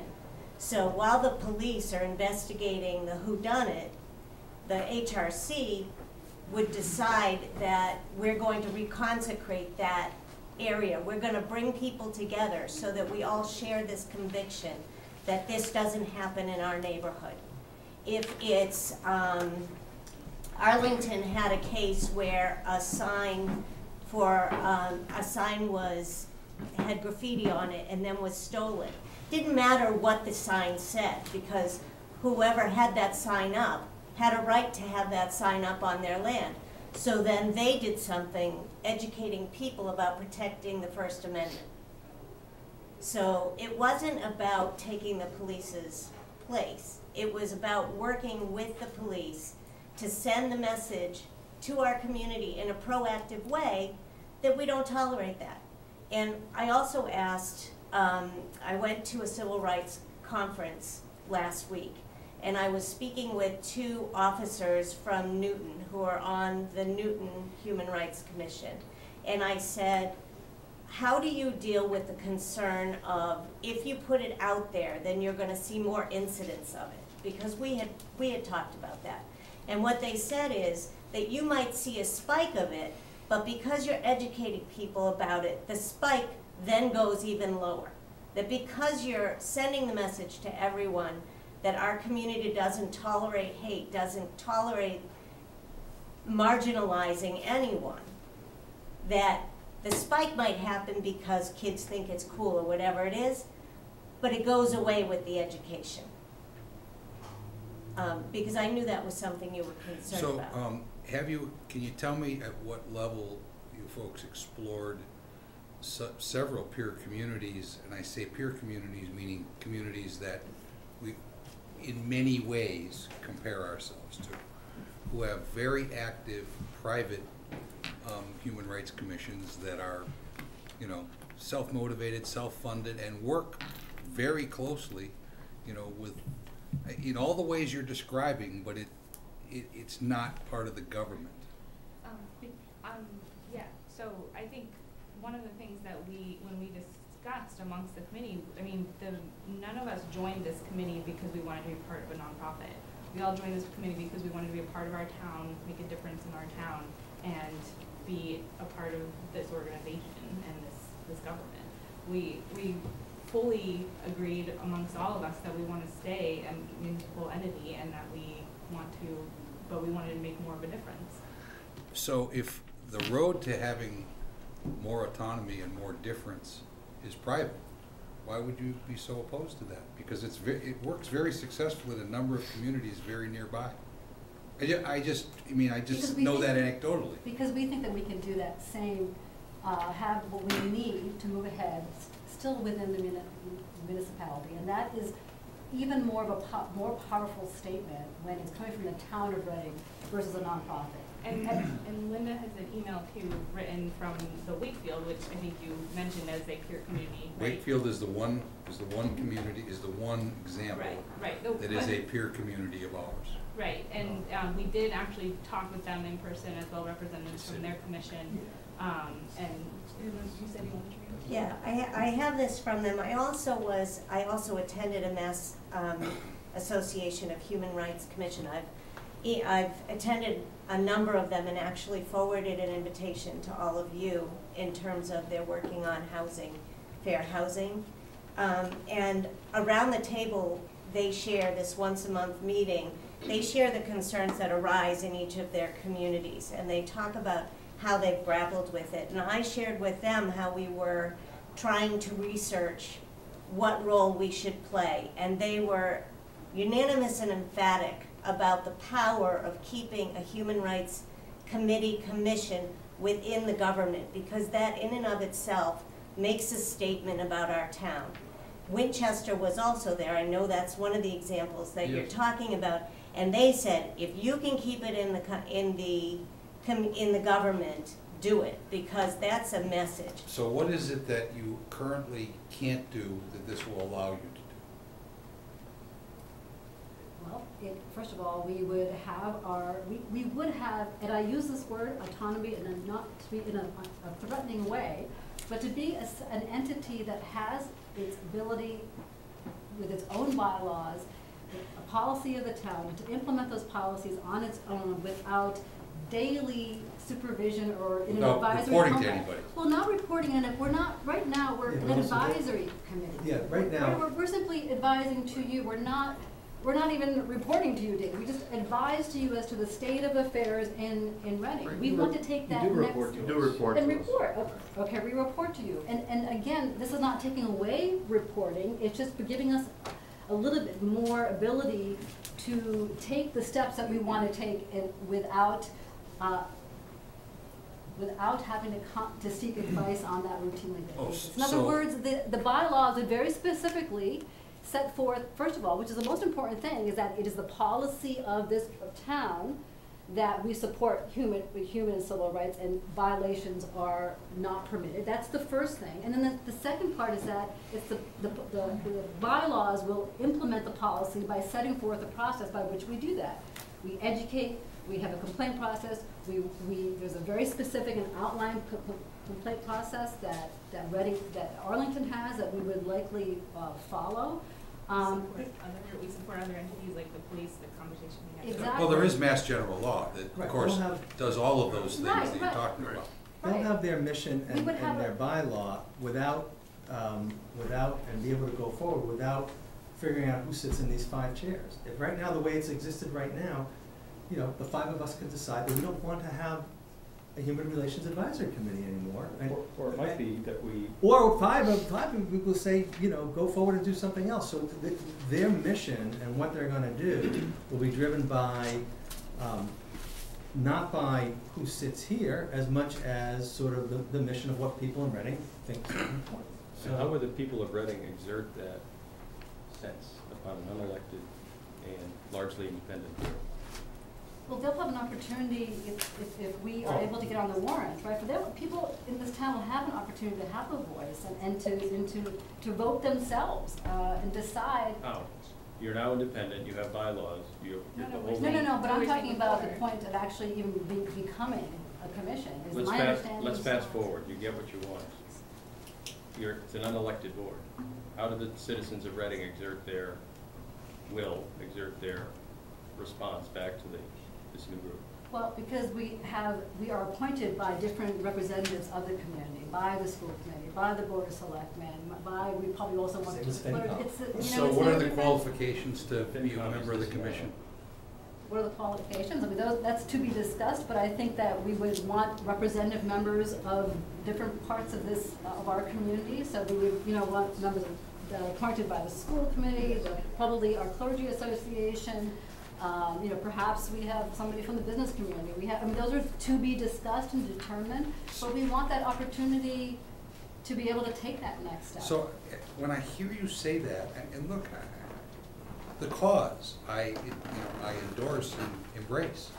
The, the methodology is questionable to me, so, I mean, how does the business community and the clergy make a decision who serves on a public commission?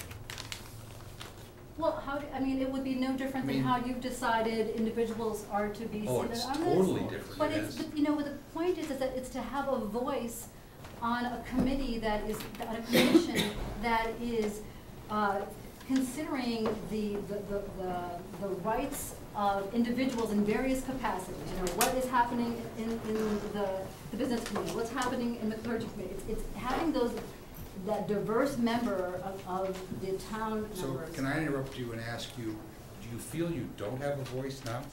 We don't, we don't have the voice that we feel that we could have to achieve. You don't have the want to voice do. with the level of authority you'd like. To be able to do what we want to do. Right now, we are an advisory committee that, as uh, Mr. Berman just said, could disappear tomorrow. And that's not this, not, that is not the same as being a commission that this, that the town has decided that it is important to this town to further human and civil rights, that that, that, that matters, and that we want to endorse and, and, and- embrace mutual respect and understanding, that we are making a statement that is so different than an advisory board that could be, just disappear tomorrow. That bring it to, the all we, we're asking today is that you allow us to just take the next steps to work with the bylaw committee, to work with town counsel, to come up with bylaws that we could, that could then be presented on the next town warrant, and let the town decide, let the people of Reading decide. That's all that we're asking for Well, today. we can certainly take that under advisement. The hour is drawing late, and I think, Bob, you had something to share with the committee that, um, and you had comment, commentary on this. Is there anything else you wanna get to? You know, the, the one thing I'm going to say, you know, in, in, in thinking about this entire presentation, um, and how to, you know, that message of, the question of why, because that has come up and it's a, it's a very, you know, it's, it's a good question. My res- initial response is to ask yourselves, why not? I mean, we are trying here to be, we want to be a, a community of excellence. And in thinking about, thinking about what we want to do, you know, I stumbled upon a quote that I, I want to read to you because it's exactly what we're trying to do here today.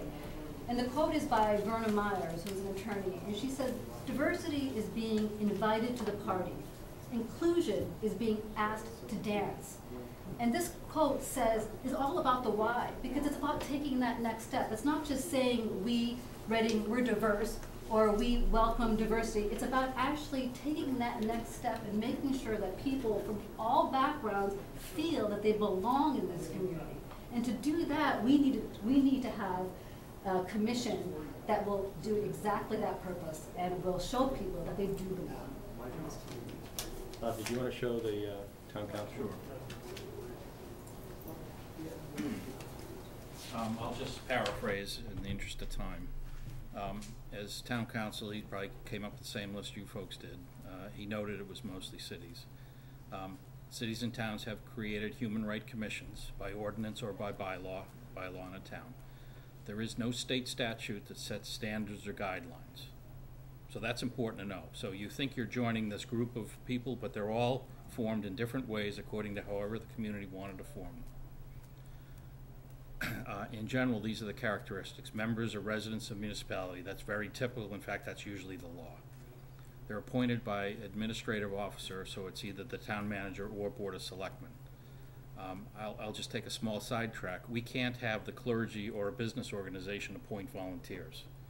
We can have a bylaw that says a member of the clergy is recommended as a member, for instance, but we can't have non-government people appoint others in a government organization, just to be clear. Um, There is an executive director. It is a paid position. It is not always a full-time position. It is a staff person in your local government. Um, The duties and responsibilities vary by community. In the larger cities, they tend to have full-time. Um, Here's a significant difference between what you are now and and what you would be as a commission. You have the authority to investigate complaints of discriminatory acts by holding hearings, which you now cannot do. You can subpoena witnesses, which you now cannot do. And you can take testimony under oath, and you can issue findings and recommendations. So that is a significant difference over your legal powers now, if you will. Um, however, you have no authority to impose any kind of a resolution on a situation that you might come into. Um, you can, uh, you can encourage uh, conciliation, mediation, uh, and you can present findings and recommendations to other entities, but you by yourselves cannot force a solution if you see a problem. Um, You are charged with educating and informing the local government and the public of ways to improve diversity in the community as a core mission. Um, And that's from, again, the way other cities and towns have chosen to set up, it's not a rule. If it's established by bylaw in Reading, um, that such a commission would be subject as a public body to all the limitations and prohibitions applicable. Um, you- Your, your meetings must still uh, adhere to open meeting law. Your documents are all subject to public records law. Uh, Your members will be considered municipal employees, as you are now, for the purposes of um, procurement and state ethics laws. Um, We probably won't do a lot of procurement. The commission will be required and this is again, practice among the ones that have been set up to require, to submit an annual report in the annual town report. So that's actually, in addition to perhaps annually reporting to the selectmen or the school committee, this is a formal requirement that everyone has set up. Um, in Massachusetts, every community is forced to produce by law an annual report. Uh, Poor Ben Nichols was the only one that ever asked for a copy, and he passed away at age ninety-nine. No one has asked since. Um, we stopped having more than five or ten copies. They used to publish them there. We used to publish like a hundred of them.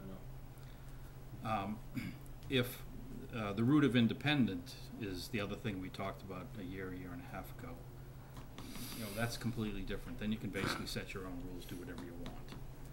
Um, And, you know, some of my discussion, again, is probably six months or more older with Linda, so I don't know how relevant it is compared to what you thought about now. But I think it's important that you understand by law, there's not a lot of differences, other than the things I just told you about. You've listed a lot of things you want to do, you can do them now, almost all of them. You may not feel that you have the authority, and you may feel that a bylaw lists things out better, but you will still be subject to all the rules and regulations, much as I am as a municipal employee. And one of the things that volunteers sometimes have a hard time learning is you lose your free speech rights as a municipal employee, period. You do not have them. As a citizen, you will never lose them. As a, as a, as a, as a nonprofit, you have those rights. As a resident of town, you have those rights.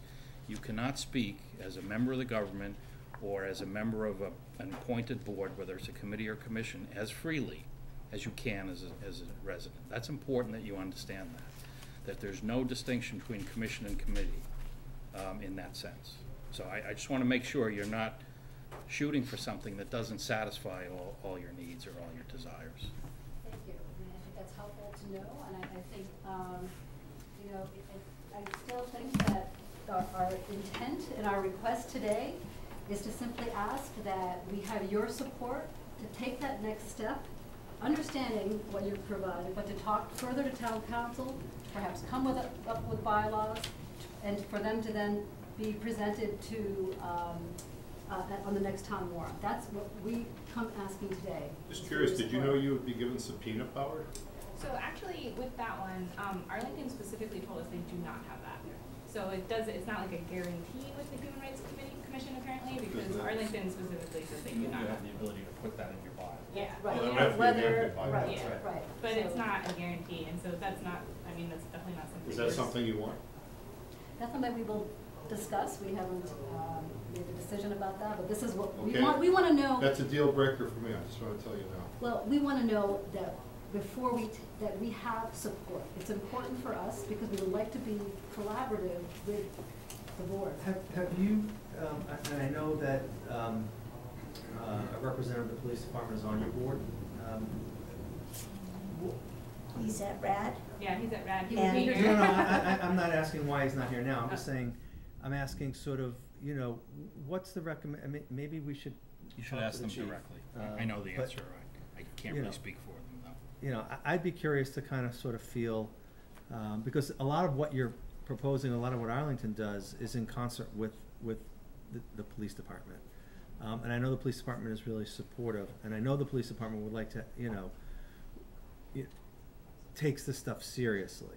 Um, I would really be interested to sort of hear their, um, what they think is the best path to go in terms of supporting them and their abilities to do this.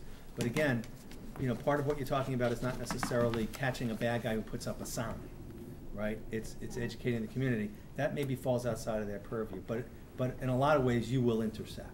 And so, I- you know, for me to decide about kind of the best way to go, I, I would wanna, you know, talk to the chief or, or whoever the representative is Our about, representative Couldn't be here, but No, I he understand also is in agreement, this was a unanimous vote by all seven members, voting members, including, um, Lieutenant Clark. well, that did not. I, I would defer on that discussion until you talk to the police directly. That's contrary to That's, what I've that's, been told. that's certainly a prerogative, Well, um, that's. Any other uh, comments from the board? We're out of time, Jeff. Yeah, we are out of time. Well, let me just, let me just Please, wrap go this right up. I, I just thank you all for coming out tonight. I know you've been working really hard on coming up with you know, the, the who are we and what do we want to do kind of solution. And just a little bit more background for the board. Um, You know, I, I think in, in the end, I think that the advisory committee really is seeking just to try to um, figure out ways that they can better communicate with the public. That's always been the number one problem um, over the last year and a half that we've been running into, frustration on their behalf of trying to figure it out. So just from a perspective standpoint, I think a lot of this is, is, has been based out of that, if I can almost speak a little bit with you uh, in that regard. So, um, you know, I, I think looking at it from that perspective, it's important that we do have some kind of voice. Uh, I, I, I agree with you on, in this, in this regard, some kind of voice um, that we can educate folks. Is this the right mechanism? I'm, not hundred percent sure which, which is, which isn't at this point. I, think there's still a little bit more research to be looked into. Um, the legality, I know we've, I've spoken with you, seen a lot about this, the legality of it. Um, ho- what, what role that plays in it, and I'd like to probably talk to town counsel a little bit more in regards to that. And then the most important thing, you know, that Bob brought up, does this really achieve what you're looking for? And, and, and is, is that, and, and if it doesn't, um, you know, i- is there a better way to, to, to go about it as well? You know, I just don't want you to look at this, and say, you know, this is our, this, this is the only option. Because it's not so much looking to become a commission, it's more looking to become a voice, right? Um, so I just wanna make sure that we're leaving on the table, you know, all options to, to seek that out for the best resolution for Well, both the I I town. don't know, Kevin, that's not what I heard from them. I, I don't, Well, I didn't I'm hear that they wanted a voice, I heard they wanted a commission. Well, We I- We think the commission will give us our voice and will give us le- legitimacy. That sounds like a specific Yeah, solution. So, I, I understand the- uh, what, what was said, but I just wanted to, that's why I wanted to give a little perspective. Everything I've talked about with the committee has all And you've been been. going to their meetings. Yeah, throughout. it's all been based around, they, they really wanna have more of a voice in town, so I think, you know, they're looking at different mechanisms, so I just don't want the board to get so hung up on exactly the mechanism, it's, it's certainly where it's coming from, I think is just as important. Thank you very much. Thanks. My, I just have one quick question Oh. is to know for timing, because we would like to know as a committee, you know, when can we, when can we know what the next, what, what your response is to this presentation, so that we know what's next steps we can take, because we would like to be able to be be presented on the next town warrant, and we know there are timelines in that. Yes, Bob. Um, if the board was unanimous right now, honestly, the next time is probably next April.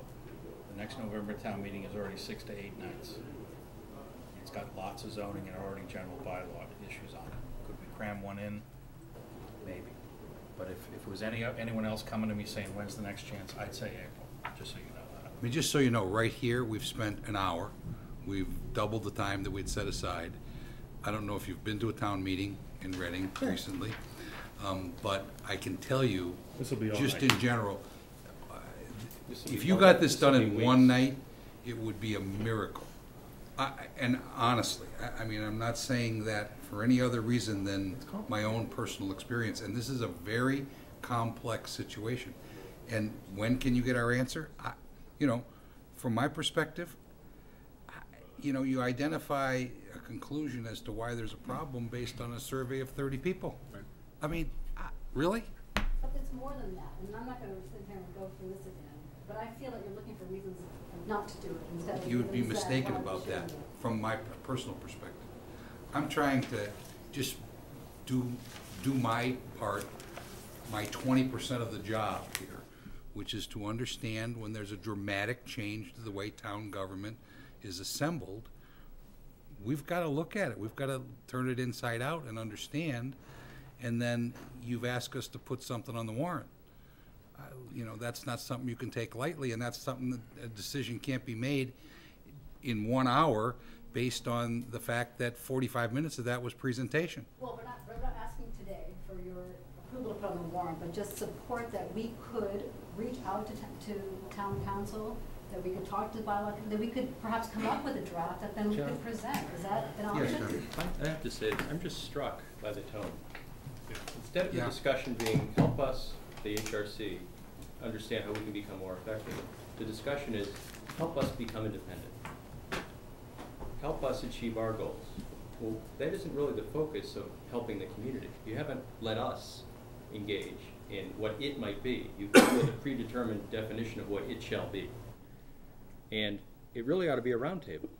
You're already advocating that it be on a bylaw. I don't know what it is yet.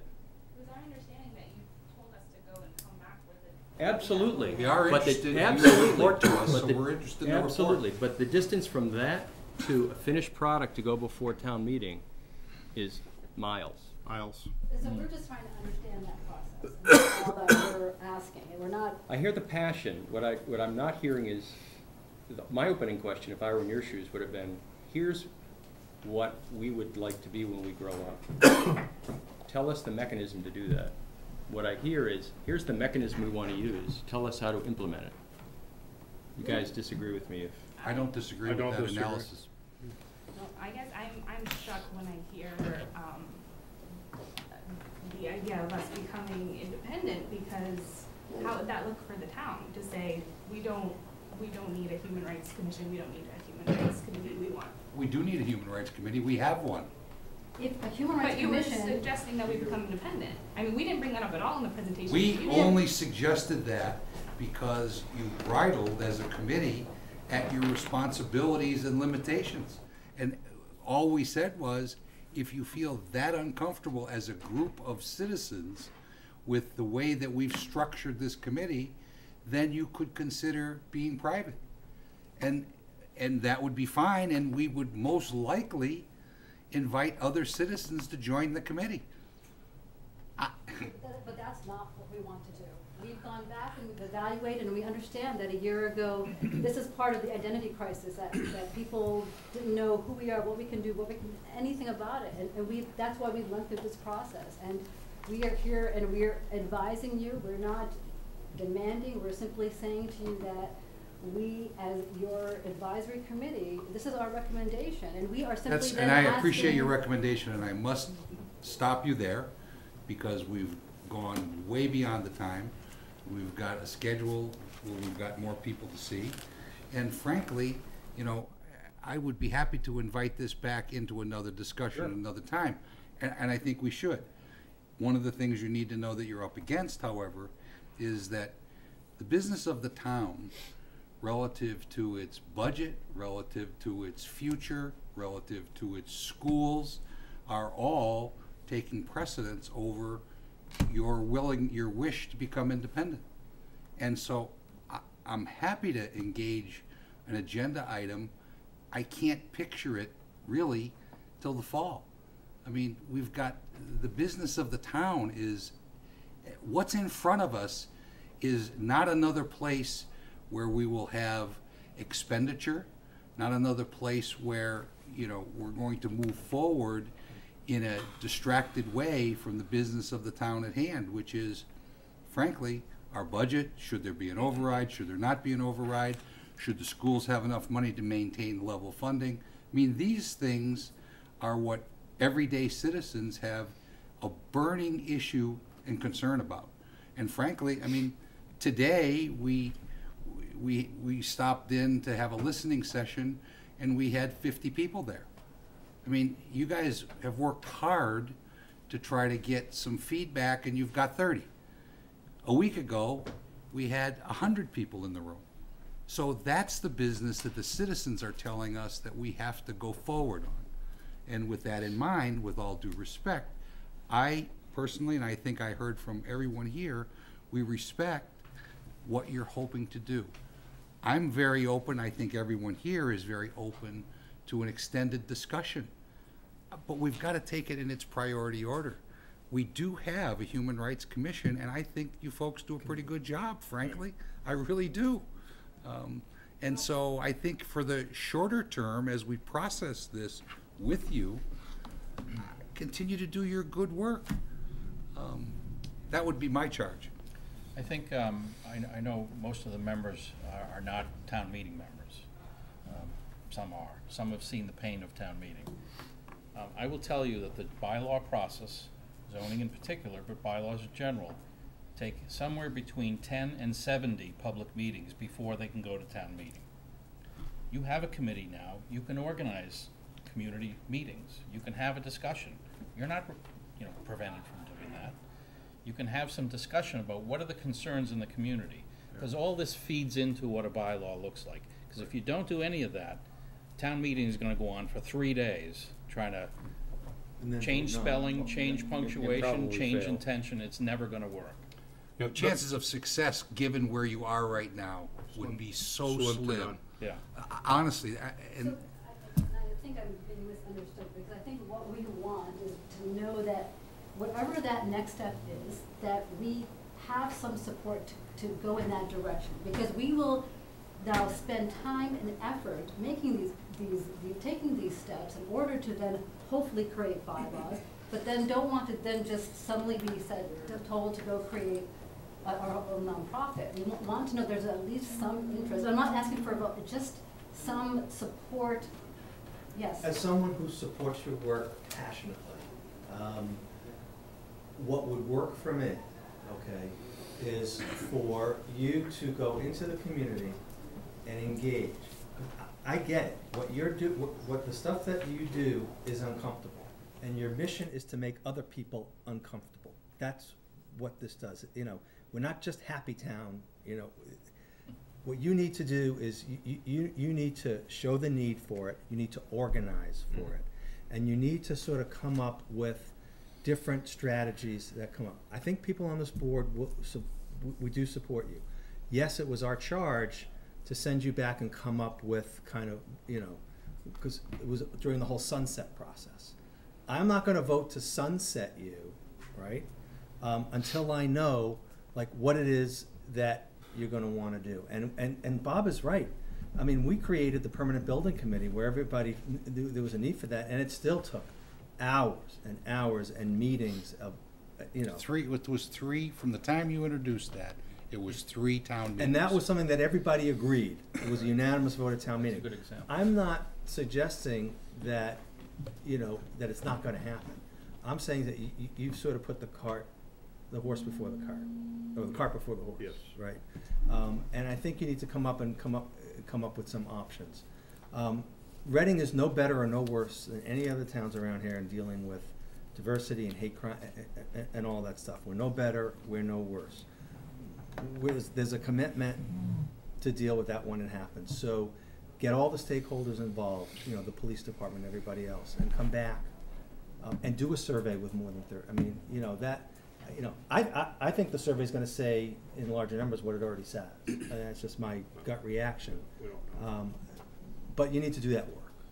Um, And, and I think that, um, you know, and, and to and to come back, and we'll deal with it. Yep. I think, do you feel like you have a sense of direction? I think we have a sense of how the board feels in general, and uh, I think we'll evaluate that and um, take it from there. Okay. Thank you for your time. Great, thank you. Thank you. Thanks for coming out.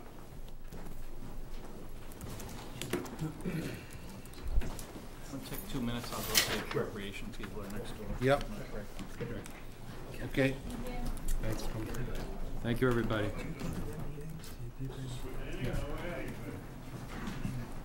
Not all. I've gone to a few of them. This is a really good intention. It is, and, it- and, and. It is. And, and you know what, maybe the, maybe the final product is what they're suggesting, just they haven't done the work yet. We gotta suspend this discussion, boys.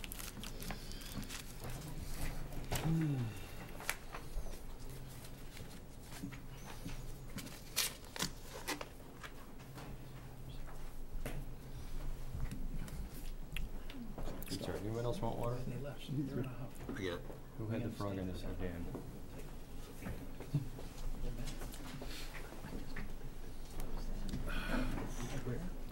think our clock's stopped. I wish they'd come to us and ask for advice. I wish they'd come. Nine fifteen. The survey was like, who are we gonna give vote to? I haven't to Linda probably six months about this. Um, Matt is and Kevin do phone calls. But they, this never came up with Matt. We should do that.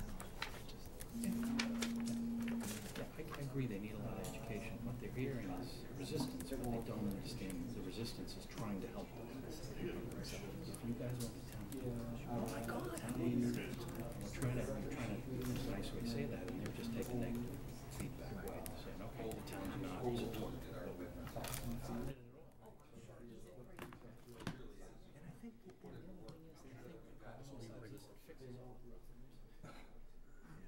This'll be- Do we have the, This'll do be we have the reading players stuff here? like this. that We need, Bob? What's that?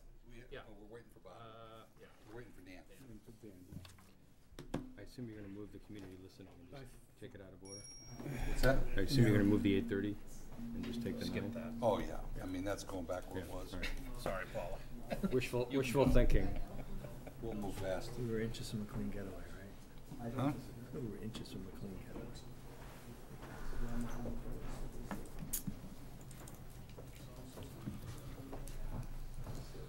Okay.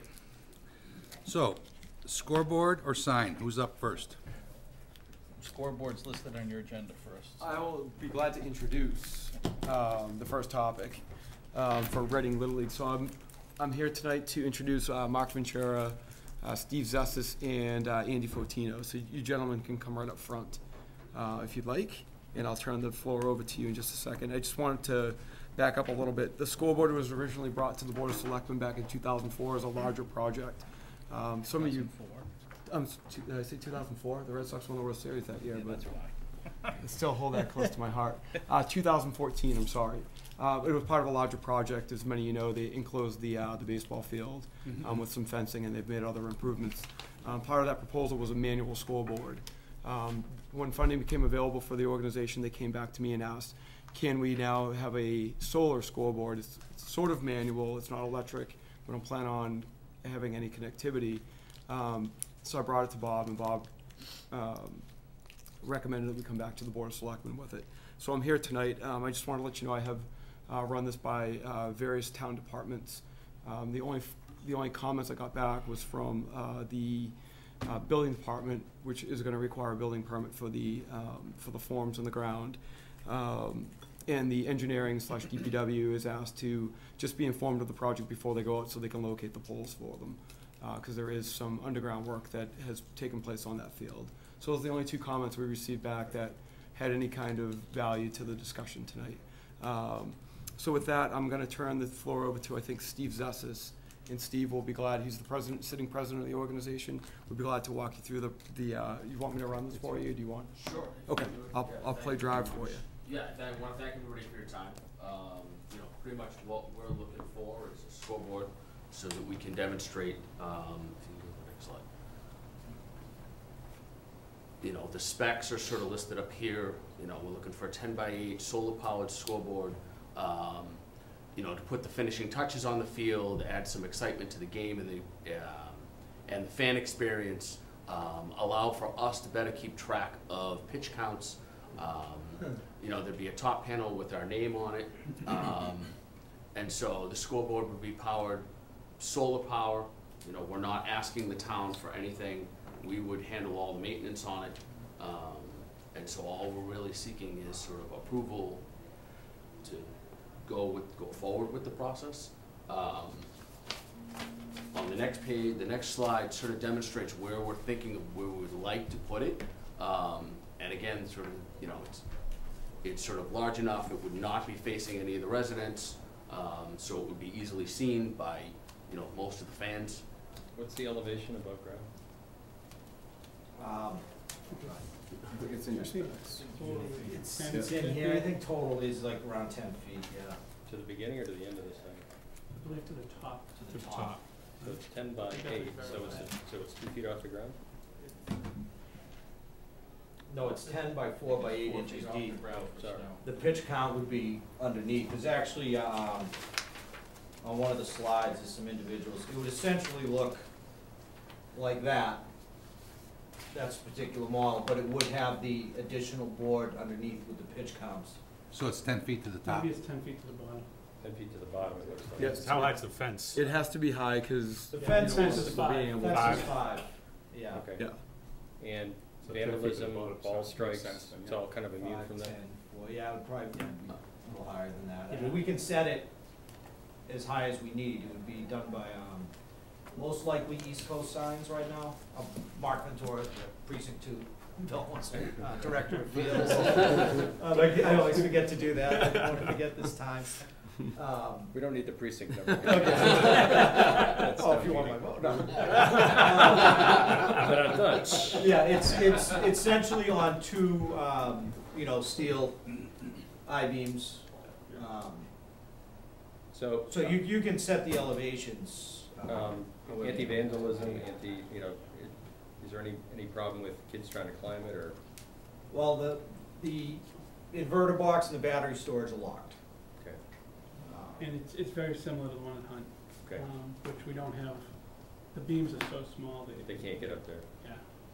Now, these kids, this is the sixty-foot field, right, at the high school? Yeah, this is the, this is our majors field. So with the, with the kids, Primarily twelve, eleven and twelve year olds. so they'll be able to boost over that fence and hit that, is it, that's okay, kinda getting whacked down? You know, Uh, yeah, what we did at Hunt, we, Hunt's not protected either. Uh, In the, in the five years that I've been associated with this, I've seen it hit twice. Um, if this does get hit, Kit did w- there is a, uh, there is a, um, screen you can get. We can put it in front if we need to.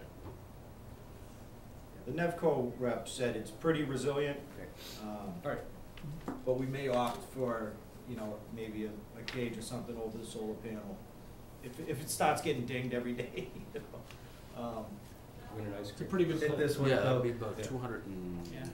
feet, so. Yeah, that it'd corner, It'd be a decent that shot. corner's two eighteen, the deep corner, so yeah, that would They gotta get it high, too. Two Yeah. eighteen, and they gotta get it up there, so there's only a Yeah. couple kids I've seen Could do it. that could do it. While we're on the topic of location, I did receive um, two, we, we mailed two abutters uh, around the neighborhood, and we did receive uh, two um, notes in writing, one of the gentlemen are here tonight, uh, about the location, so I just wanted to talk a little bit about the location, and if Reading Little League had any um, opposition of, of making any shifts based on some of the feedback. The feedback that we're getting is that it's right in the sight line of two homes. Um, and the proposal from one of the, one of the houses on Bancroft Ave was to actually move this, uh, the scoreboard to the left field side and actually put it here. Either down the line or in this corner. I think we're putting a pole here, so it'd have to go somewhere in There's a that pole, region. there is There's a a pole light spec to pole, go there, the yeah. pole's in that corner Yeah. there. The, um, So it would face first base then? It would face, yeah, it would face first, it depends on how you orientate it. Then the guy at the end of Longfellow won't like that. The reason we looked at right center is um, due to the fact that the bleachers are on the uh, third, the third base line. Yeah. And if you put it out on the left You won't be able field, to see it. everybody's gonna do this, and pretty much watch the game like this. Also the oak Um, tree. It does not, uh, you cannot see it through the tennis courts. So, I mean, the house is, yeah, it's gonna be in the view, but so isn't the one at the high school field. Um, you know, it's not, it's not a blaring light like at Foxborough. It's very dim, they're amber lights. And, and it's not a huge thing, it's, it's a matter of a few numbers. Um, it's not like our name's lit up or anything, it's just a, Not a video screen. very, yeah, It's not a video screen, and, you And it's not lit up all night, it's, Turned off after the games. yeah, Any reason why you wouldn't do it in center field? This way it's a longer poke and people can still see it from, Actually, The that's a longer poke than center It's a field. longer- Yeah. Center the field's the almost. start the radius from left Yeah. Is two hundred, uh, and then it straightens out, it goes to about two eighteen. At that deep little. And there's a And gate, there's a gate somewhat in right center field. There's a Just- twelve-foot gate about Both to the right of it. ten feet, right at the edge of the stone dust in right center, the warning track Good. and the, uh, the access way there. Um, another reason for that location was the sun exposure. Mhm. Um, if we start putting it towards left field, we, we have that big oak tree there. And you don't wanna go directly on center field. Yeah, Bob? Just uh, for disclosure, I just got an email uh, around seven thirty, uh, probably the same one Yep. that John got with those comments about from Bancroft Ave, I can see it. If you'd move it to left field, I couldn't see it, just so the board knows. I mean, the tennis courts are lit up at ten o'clock. Yep. Which would be a lot more, and that's more light than will come I, from I that can't, scoreboard. I, I'm, I'm hard pressed to understand how you could see that through the tennis court's lights from Bancroft. We also have And when the screen tennis there. court lights go off, you guys are done. Mhm. Oh, by all means, yeah. Ten o'clock, Yeah. Yeah. We've done well If before those ten. go, if those go at ten o'clock, we'll be done probably two hours before. Are there lights on Well, this night field games now? you won't be. Not but- no. Yeah, when the lights Yeah, come No, there's through. no, there's no lights on this field now, but Yeah, but games hopefully won't be it's going part on of the. past ten o'clock. No, I believe, I No. believe the light, at least at the men's softball, uh, when I remember playing in that league, I mean, the lights were off at ten o'clock. They shut During uh, the, the discussion about the lighting and the priorities of the field, I think we had sort of shared that we would absolutely be off the fields by ten. You know, we'd be looking to run games seven thirty to nine thirty and give us a half hour to clear out, because we're Right. dealing with young kids. You know, we don't, there's a lot of, you know, twelve, eleven, ten-year-old kids, they need to get to bed. They need some time to settle down. Some of the dads do Oh, too. we're cross coach though. Yes. Dave Sweeter, ninety-eight Hartshorn Street. So you're about to add twenty-four thousand watts of light to that field. In addition to that, now you're going to add a scoreboard. The scoreboard is visible from my kitchen, my dining room, and bedroom. The location that you've planned is absolutely out of the question from my viewpoint. It needs definitely to move to left field if it absolutely has to be had. Think you need to do something with the presentation of the sign in order to make it more palatable. So you've got LED lights in the scoreboard which draw absolutely no power. You're putting up a god-awful looking solar panel. You've got batteries that have a lifespan of five years and an inverter that is nothing but trouble.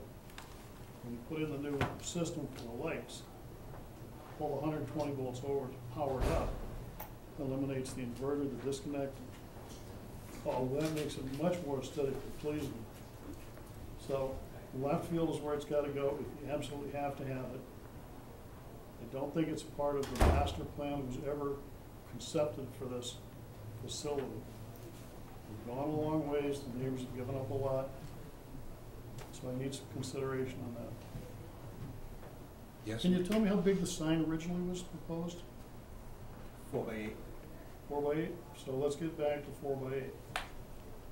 not really gonna work. The, um, the four by eight is the lit up part, the, the two, the, uh, two extra sections aren't lit up. So let's get rid of the sign up on top. I have, it's just our logo, it's not lit. That's what I'm saying, let's get rid of it. Let's There's get a the sign screen at the small. tennis courts that protects the tennis courts from foul balls, pretty dense black screen, which will shield, shield the view.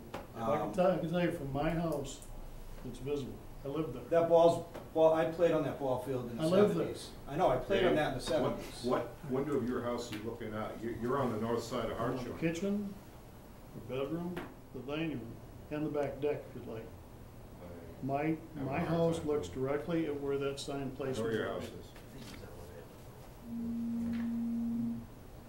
But, but the element of eliminating the um, inverter and the solar panel, it's, an LED sign, it's gonna take no power, you'll spend less on the sign.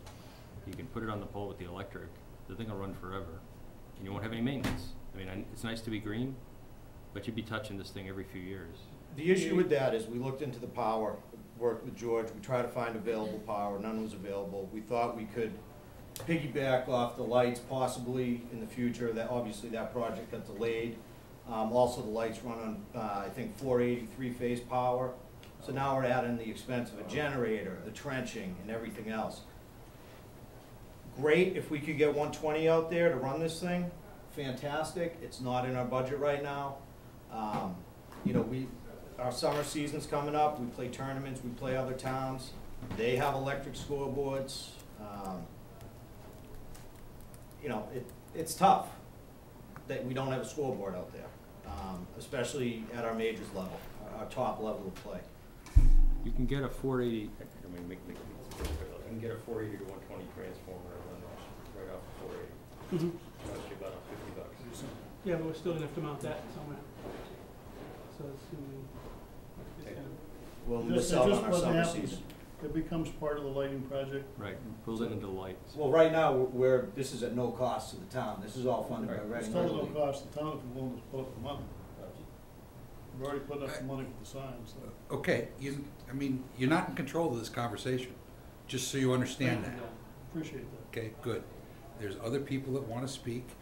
I'll be happy to call on you when it's time for you to speak. Now, what's next? Who's got a comment, either from the public or the board? We did look at, at trying to get power up there, and it was cost prohibitive. So this, this was our way to, the solar power was to get our scoreboard up there. Maybe in the future, the master plan, um, we can piggyback some power there. Um, You know, we're, we're a nonprofit organization, we're not loaded. We fundraise, sponsors, um, you know, in our, in our fees. But Yes, John? I just had a quick thought. I- Is this something that could be retrofit down the road? And I don't know the answer, maybe Yes, Nevco it can can. tell us. But if you could retrofit it, then it makes we, sense we to be able talked to. to the Nevco rep about that, it's easily, It it can becomes- easily be retrofitted. Mm-hmm. What do you mean retrofit? Uh, retrofitted to elect, to full electric, say, Oh, okay. say they find out after two years that solar's just not the way they wanna go, or five years, solar's not the way to Well, go. power becomes avail, a more It- convenient it becomes power more convenient. location becomes Right. available. That makes a difference to me. So, the biggest thing right now from a placement standpoint is the solar power, is that correct?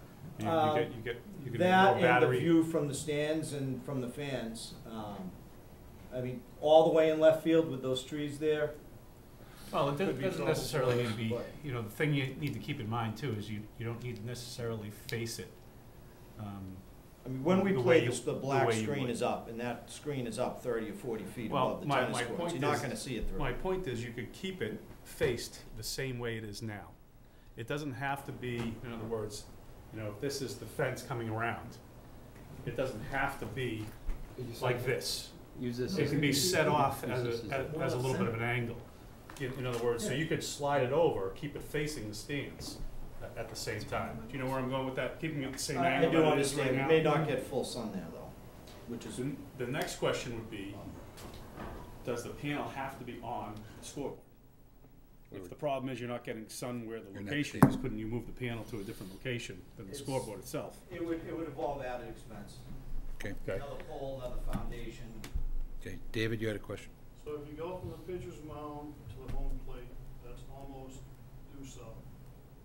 I do solar panels for a living. I set my panels due south at a twenty degree angle. The location of the panel and the solar array have nothing to do with this discussion. The discussion is purely one of making an accommodation to the neighbors.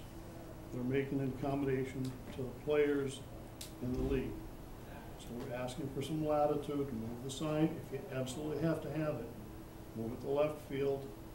If you absolutely have to have it, let's reduce the size of the sign, and the way we reduce the size of the sign is by lo- removing the top panel that has unfortunately the league on it. But everybody that's playing in the league knows about the league. Gentlemen, can we live with, live with center field as a compromise? Left center.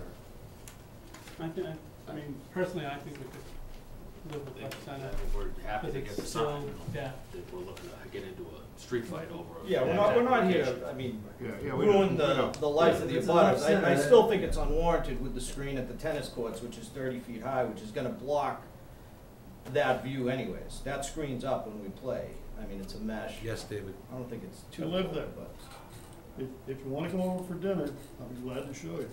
I'm, I'm there screen- three times a day. The screen does not block my view of that field. I, my- I live there, this, this, I live there. We're talking about being good neighbors here in Reading. We're talking about neighbors that are trying to accommodate the recreation facilities that we have and accommodate the Little League field. We're pretty good neighbors, right? No complaints. You're gonna choke us with twenty-four thousand watts of light on this field.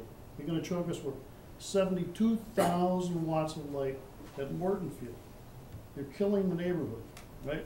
That's not the discussion here. I'm asking for the sign, if you absolutely have to have it, move to the left field, be reduced in size. By doing that, we're not discounting anything you're trying to do for the Little League. Right? The logo on top has nothing to do with the Little League But kids. how does the logo, how does the logo on top, which has no lights on it, how does that impact, you know, your vista? But It, it just makes it bigger. It just physically makes the sign bigger. So is it the, is it the sign that's offensive to you, or is it the lights? Well, this, it's. Or is it the height? well, The lights are certainly offensive to me, but that's not what we're talking about. Uh, We're Well, talking about we're, the sign. we're not talking about the, the, the So- array of lights that will light the field. So- I'm talking about the lights on the scoreboards. The lights on the scoreboard and the scoreboard will be visible from my house at its current location. If you move it to left field, you won't have the issue of the lights or the scoreboard being an issue for me. You might have other butters No, that because have issues, you but absolutely will just rearrange that, and you'll rearrange it in a direction that has no screen up at all. Because there is no screen in front of the playground. Am I right? Mm-hmm. Right. Okay, and what we're talking about is if you move it to left field, it faces the playground, I believe.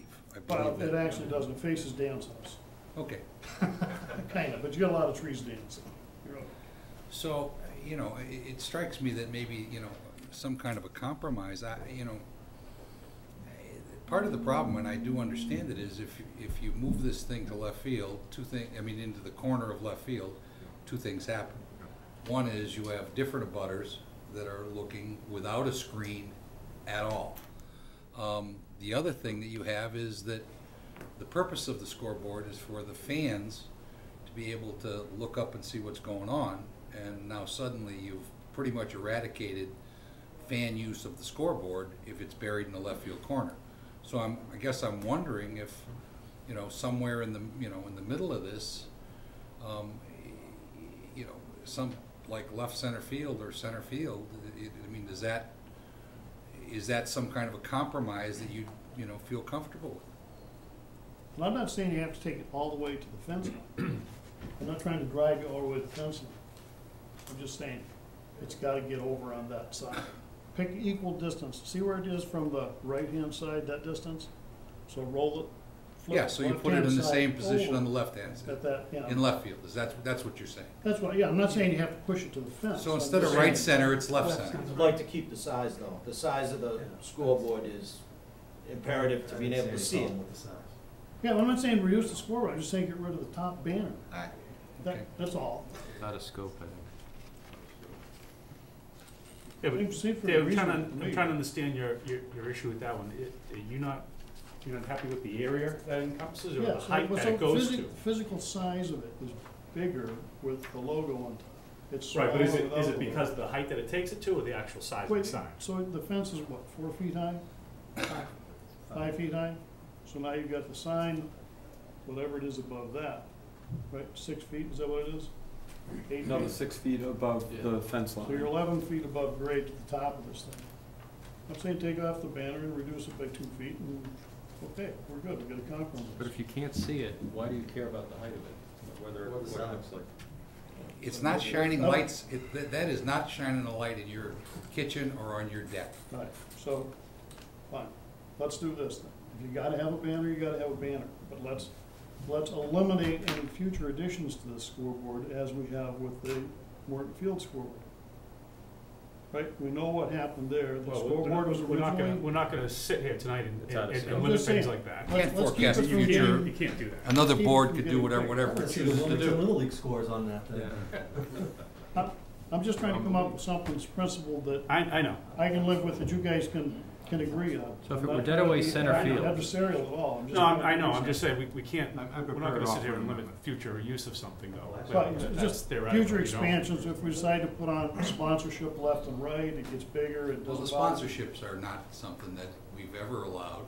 Um, it's not something that, I mean, it's been, a it's been a town policy that anything that might happen along those lines would happen during games only on the fence.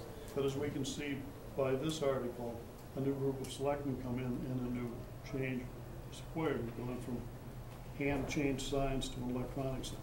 I'm just saying, I'm No, just trying this to be was- reasonable, I'm trying to be reasonable, I'm I trying to mean, move building it. off left to right is a whole nother engineering project. I mean, the, the found, the footings, foundations and everything are engineered for what we're asking for. I mean, you just can't add something. There is a big pole on the 25 field. foot I, I don't know exactly sign where to it the is in back. relation to that corner, but there is a pole. Right off. We're not right talking off the about fence. going to the corner, Not John. talking- No, we're not. Do not go to the corner. That, I, don't have a scoreboard if you're going to the corner, Yeah, no. because nobody's gonna be able to see it. And it's Okay. nice over there, so, yeah, move it over a little bit. If it were dead away cent- center field, The problem with that away center field is, um, the players, when they're batting, Yeah. Oh, it's it's the- it's the visual. No, it's, it's gotta be a left center or a right Yeah, center, left you know, situation in order to be able to, from a safety standpoint and. You're worried about it being a um, tennis match with people doing this. So, I, I mean, it sounds like, you know, if you go to left center, and, and so the, the problem with that is what? You just don't know Well, where the footings are? It's, for- no, it shouldn't, shouldn't be an issue. Um, the subsurface infiltration fields are out of the way that are there. And I've been working with George a little bit on locate, you know, with that particular location, but we'll review it. Now you get to I think it work would with be Ryan. fine. I think we're just getting into the, um, the shade of the tree, but, you know, we'll, we'll talk to our rep and we'll look at where the sun goes and, you know, that's something we have to consider is that huge oak tree right under there. Yes, David? So, just, would you just do me a favor and, and talk to your vendor about four eighty volt powered scoreboard? It, I'm, an electrical guy, right? I do this for a living as well. And I'm gonna tell you, it's not an issue. Those LED lights take absolutely no. The power. problem is getting, A, we're not gonna have it for the summer season, we're probably not gonna have it for this season. We'd love it to have it for our tournament season this summer, if we can make it happen, at least towards the end. Um, Fall season would be great too. I'm Uh, just the other issue is, is bringing the power there. Um, And that, you know, when the time comes, when the lights do go in, um, you know, that's something we can talk about. Um, maybe pay for provisions to happen, and then in the future, we can trench over there and get the power there.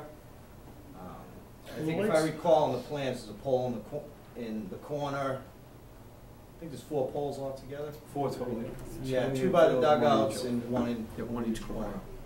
So we, we'd have to, um, we'd have to get there. Yeah, it's not a huge thing, but, you know, we're not made of money. Well, just let me, let, be right with you, Bob. Yep. I have a little experience at this, from your side. Yeah. Only about three times that size. And there is a cost to doing business when you raise funds privately and wanna make a gift to the town. So, I mean, if you're not prepared to spend the money, then that's a different discussion. Then tell us you're not prepared to make the gift yet. No, we're and then- prepared to do this Then we gift. can look at it another way. I mean, Yeah. if that's what you, if that's where the problem is, then, you know, let, identify that. The, the initial problem, we always, we were gonna do the manual, we heard about the lights, we thought we could work, and we thought we could get it in, the lights got delayed. Um, We really want our players to enjoy this, I mean, we're all volunteers on the board, we want it, we want our kids to enjoy it. Um, You know, and future generations, but it, would be you know, we're working hard here, like our, our children to enjoy the scoreboard. It was, it was, it would have been a nightmare to get power out there right now two, three years down the road, or, or, you know, when the lights do get approved, construction happens, that is definitely something we can look at. Which could be first of September. Could be the first of September. So I- I'm trying to understand what the problem is. I There is- mean, there is no If you go to problem. left field, if you go to left center, Mhm. um, we're gonna get it out of a neighbor's face. I'm fine with that. It's gonna be a different neighbor who hasn't figured out that that's, you know, a, a problem for I them. know that Maybe- And maybe that won't be Is- a is problem it- for them. I, I can't answer that. It does, without question, I mean, the look from where it is into a thirty-foot black screen is very different from the look where you're going. I mean, I get, I, I get. But I think where your home is, is up on a hill, so the screen kinda doesn't matter anymore. I mean, I, I do get that. Um, But you have a, you have a person who is complaining about the vista. Um, Okay, I mean, everybody has a right to be heard, and I don't think there's any question about that. Um, No one else has raised that issue. Um, And frankly, where it sits right there on that screen, um, the other homes um, who might have a problem can still see it from there. I mean, there's no question about that. Whether it's in left center or right center, the homes behind that parking lot are gonna be able to see it. Okay, it doesn't matter which side it's on. So if we can, if we can make a neighbor happy, move it from left center to right center, is that gonna cause you, you know, in, enormous financial change. Oh, no, not, not moving it. No. No, that's, I have no problem with moving it. I wouldn't wanna reduce the size. I, I don't Yeah, have a problem moving it. I don't- I don't have a I'm all problem. for to keep We're not- I don't him know. happy. Yeah. I don't see a need to reduce the I- size. Yeah, I think everybody's gotta give and take a little bit here, you know? Yeah, no, I have no left problem field- moving it. Left field's left center fine. versus right center is, I have no problem. And frankly, you know, I mean, I, I- I tend to believe where David's coming from on the solar thing. I don't know that there's gonna be an enormous difference one side to the other. One might be m- more sun than the other side, but the reality is, you're gonna have a lot of juice there the first of September, I think, right? Um, eh, Which would make, you know, and if this is convertible, then, you know, it, it kinda solves that problem too. I think the only issue we would have is the added expense for the electric right now. We would have to do a little extra fundraising. Um, I don't know that we have. I don't think we're talking about that. No, we're talking about doing the solar, we're talking about the solar. Oh, okay. So, So, We're not suggesting that you gotta go. Oh, yeah, no, yeah. change. You Down I the mean, road, I- if you know, can hook up to the David is 480, making a point from, work with the from a engineer. professional standpoint. I understand where he's coming from. I don't know what the difference is in money. I mean, I gotta be honest with you, if I was doing it, I'd, I'd find the extra money and power it up. But that's not me. It's not my money. I didn't raise it. I'm not spending it, so. It's- it's you just know, not an option You guys until are the making a lights gift to the town and this is all about us. There's about two things going on here, so you understand. The first one is, can this, can it go up, and where does it go up, mm-hmm. and all that. We're park commissioners, so we've gotta make that decision. The second one, do you understand that you're making a gift to the town? Mm-hmm. Okay, Yeah, it was same with this field improvement. Yeah. So we discussed the long-term maintenance, you know, they're gonna hand that aspect off to us at some point. Well, I mean, it- what's the, the suggestion in the, in the material is that they will maintain it. Yeah, Yeah. I mean, cur- we- currently, we we maintain the skins. Yeah, and we maintain Hunt's scoreboard. When it breaks down, we fix it. Yeah. And the That's town- been pretty standard, you know, Mhm. over the many years. It was replaced Yeah. actually, uh, when it just finally Exactly. gave up the ghost over there and, Yep. um, so. To that end, John, the town could, when project kicks off, do the incremental work to cable it up. So these guys get what they want, which is a summer. It's an expensive summer, but it's a summer. And- Solar option's about two grand. Plus the batteries, It's yeah. two- It's two grand. Uh, It's right, Two grand you exactly. won't need in a year. It's your money. I mean, I, you know, yeah. I just want, to do wanna make one thing really clear, because of public procurement law. Um, Town meeting has authorized a million dollar project. If they kick in a hundred thousand, you can still only do a million dollar project, it just means taxpayers pay nine hundred thousand. Correct. So you can't increase, Oh. even if they wanna Okay. pony up. Thank you. You can't increase the project in Thank its you. first phase. Okay. They have to come along later.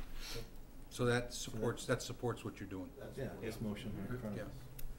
Okay, do we have a motion We going do. on here? Move that the Board of Selectmen approve the installation of a solar-powered scoreboard at the Little League Field tennis court field. Second. Um, Are we putting the placement in there? discussion, now we're in discussion. Sorry. Placement. Okay. Having listened to all the discussion, I'm not inclined to offer an amendment anymore. I'll leave this the way it is. Okay. Discussion? I, I don't see a problem with moving it to, to left field. Should we, should that be stipulated? You wanna make an amendment? Well, we're making a motion to, when they're showing us the placement, we, we would have to, wouldn't we? Probably. Yes, David? So Dave, you have to recuse yourself on this? Huh? What? You have to recuse yourself on this? Can you see the sign if I put it in left field? I can't In your see it. home? No, not at all. I'm just If you asking. could see it in left field, you could see it in right field. No. There's no barrier other than trees. I can't see that. Oh, I I understand that. So, There's no conflict of interest. just, either. just ask. Yeah. I know, I'm talking about the guy at the bottom of Longfellow. I'm, I'm way up in Oakland. Yeah, no, I'm just, a- I have I have no idea, I haven't been in your house. I know the grounds for recusal Well, anyway. I think in fairness to, first of all, we got a pending motion, we'll have a little discussion about placement. It sounds like a neighbor has a concern, it sounds like you guys are okay with dealing with that concern f- on his behalf. I think that's great when a little compromise can happen. Right. And then, and honestly, I, I, I'm not suggesting that the compromise necessarily puts somebody else in more jeopardy than they're in right now. I mean, anybody else, uh, I mean, could look at this from a public standpoint, that house on Longfellow is gonna look at it in right center, and it's gonna look at it in left center. It doesn't matter, there is nothing to block the view. Would you agree with that, Dan? You live down there. Well, that, that doesn't have, they don't have screen, natural screenage down there on that house on Northwell? Unless it's No, trees. no. That's what I'm, that's what I'm saying. Kids in the All the playground. reason I got. Yeah. I, I guess what I'm saying is, there is no, there's no barrier. But it's, it's, yeah, As you, as you look south house. of that parking lot, th- they're gonna see it as well in right center as they are in left center. Yeah. And they're not here to raise an issue. And so, you know, here we are. There is someone that has raised an issue, you guys seem to be fine with it, so, um, you know, I'm, I'll entertain a, an amendment so that we are clear that we're looking for a left center field placement, um, that's gonna be reasonable with your vendor as far as, you know, um, solar exposure is concerned. Um, I, I would entertain that motion, but I'm not gonna make it, I can't. I'm not- I'll, I'll make a motion to, uh, add in to it to have the sign location in left center field. Um, So that would be after the phrase power, uh, solar powered scoreboard in left center field. in left center field. Okay. Second Um, that am- amendment. Okay, any discussion? I'm, I'm for that. Okay, all those in favor? Well, The first, amended we gotta motion. do You the have to- amendment you have to first. Amendment approve the first. So I amendment. went through an amendment process, you should take. Oh, yeah, Why don't we here just, we go. why don't we just amend the motion?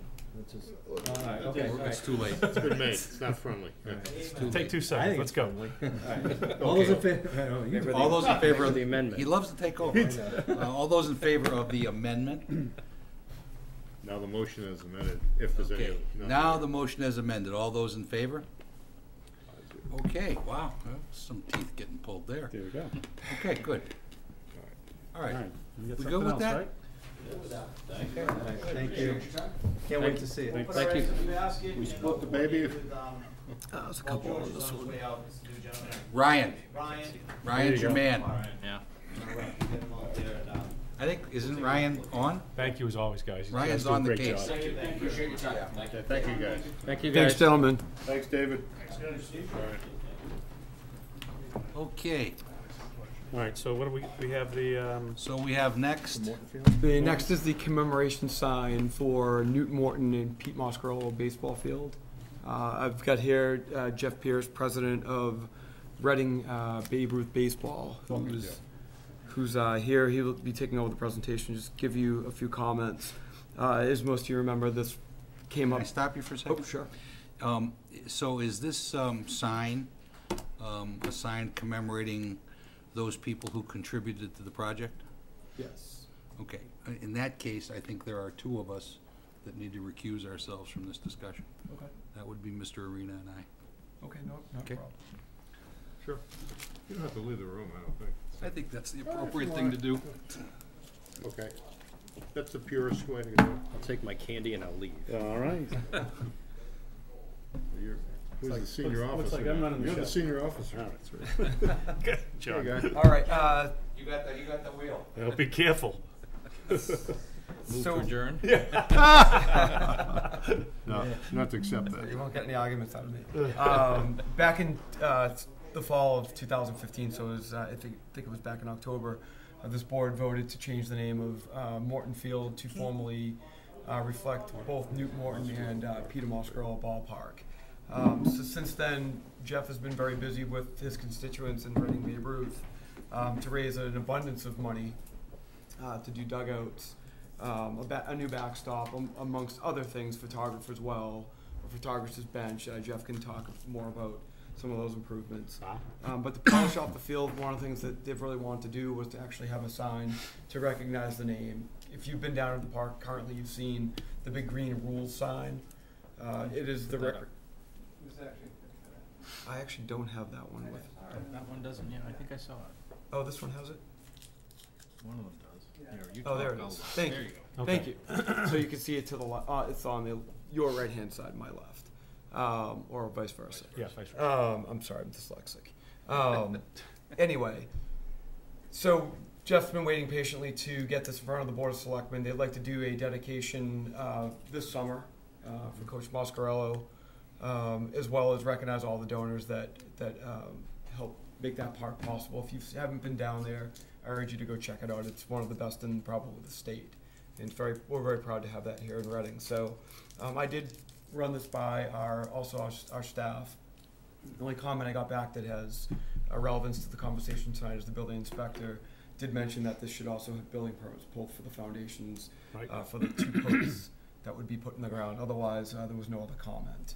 You Uh, don't have so- any issues with conservation, I hope? No, it's out of conservation's jurisdiction. Good. Okay, Yeah, good. this is not. Because once they stepped into, they, they did something over a flagpole placement once, and I, that was my, the low water mark for them. Essentially, it's going to the same place. Yes, it's replacing. It's replacing it? So this has been before the recreation committee, and one of the discussions the committee had was what we did with the other sign that's there because it's got the rules on it, and we'll we'll have to make some kind of an accommodation for that sign because it still needs to be down there. Probably move it. What we had talked about on the recreation committee level was moving it um, to this side over here, just to kind of get it off of the main area. That way, it's still visible and people can see it when they come into the park. Um, That's a and- good idea. And the new attractive sign would, there- would be there to meet people as they come in. And that's even a better idea from a standpoint of trying to get people to park over in the parking lot. Yes. That's true. So, uh, just one side note, this is for the town manager, this rendering was done, uh, by Jeff's nephew, and he's gonna make them available to us, uh, possibly for the Birch Meadow master plan rendering. Um, in the background, you can see the Birch Meadow School, it's a pretty, pretty neat picture. Um, so I just thought I'd point that out, so I'm gonna turn that over to. Made it a sunny day. Yeah, you made it a sunny day, you can control, nicely you can control the weather, it's amazing. So I'm gonna turn the program over to Jeff, I'll hang out here and go through the slides as you need them. So, thank you for uh, hearing me out tonight. Um, About, I think, the fall of 2014, you approved the Morton dugouts, this board. Um, At that time, we didn't have a dollar raised for the project. We had estimated it around 30,000.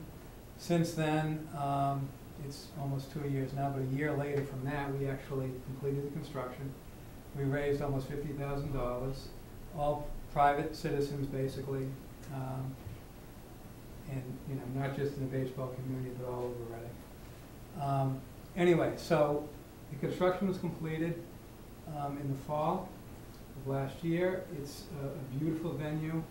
Um, I think the dugouts have beautified the area, but they've also had a functional purpose, which has been more than recognized this spring between the hot days and the rainy days of having cover.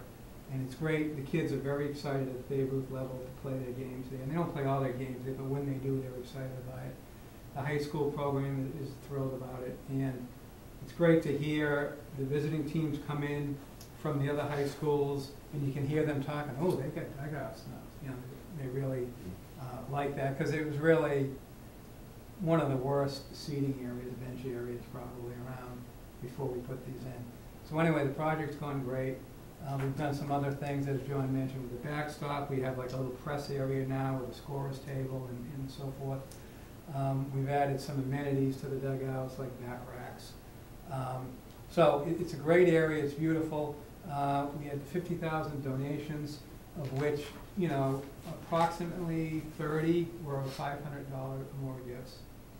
And we'd like to recognize those uh, contributors um, by putting them on a sign and replacing the current sign, which uh, you had seen previously, the Newton Morton Field sign, which looked like a vintage early seventies, maybe even late sixties sign, um, with something that's more attractive, uh, has a nice permanent look to it with the granite posts. It also gives us a chance to acknowledge the new name of the field, not the field, but the park, Pete Moscarella Ballpark, and give Newton Morton, you know, the same amount of, uh, of coverage as well on the sign. Uh, we, we thought the pictures were nice. The Hollingsworth Field sign has pictures on it. Um, and I think it's a nice touch. And the, the, the um, contributor area there that you see in the middle in black, which has around thirty names and also names of some teams. So if the teams donated, let's say the, uh, class of nineteen eighty-five team donated five hundred, the team is up there. We also have on the bottom section, that little sliver on the bottom is memorial, uh, people who designated a memorial instead of having their name up there. So there's like five or six memorials listed too. Anyway, um, the names would probably be, we haven't totally scoped it out with the um, vendor yet, but they're gonna be less than an inch in in letter size, so that it's, it's gonna be small, which is fine. Um, So the thought is to replace the current Newton Morton Field sign with this sign, a more attractive sign. It, it is larger than the New, Newton Morton sign, and if you wanna show the dimensions, John. Sure.